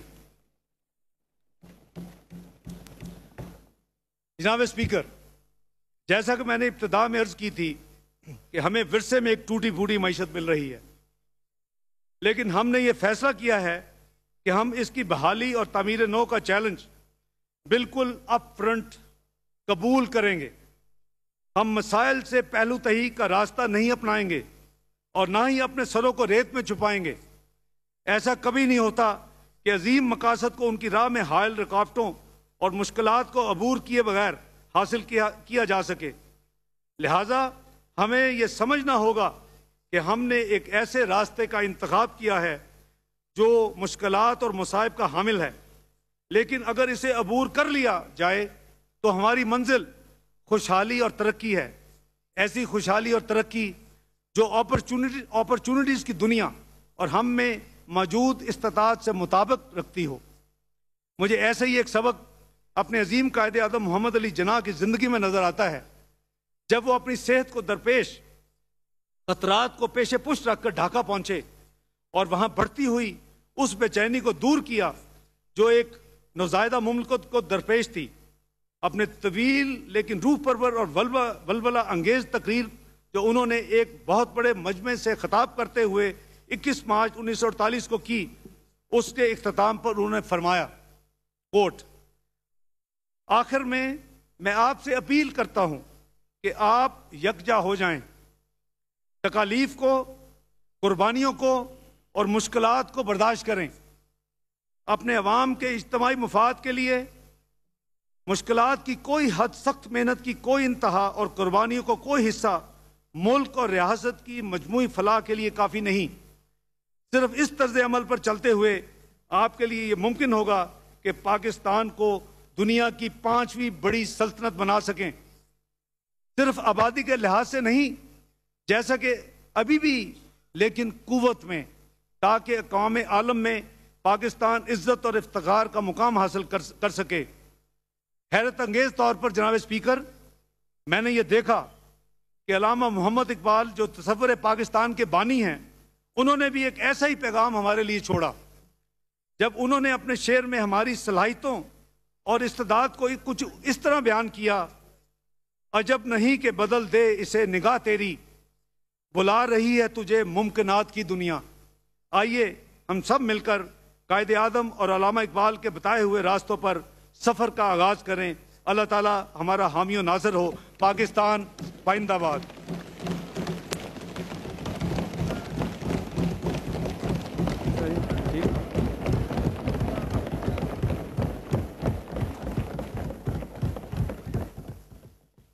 Item number three, Mr. Mohammed Ishaq Dar, Minister for Finance, Revenue, Economic Affairs, Statistics and Privatization, to move item number three. जनाब speaker with your permission I beg to lay वज़ीर खजाना इसहाक डार साहब ने 2013-2014 का विफाकी बजट पेश किया है खासी तवील तकरीर थी अ, शुजा जी बहुत ज़्यादा ही कुछ तवील हो गई और मैं खुश नहीं हूँ क्योंकि जो जीएसटी बढ़ाने की तजवीज़ दी गई है सोलह फ़ीसद स- वो एक फ़ीसद का जब इम्पैक्ट होगा कीमतों पे और किसी एक चीज़ पे नहीं होगा तो जो घरों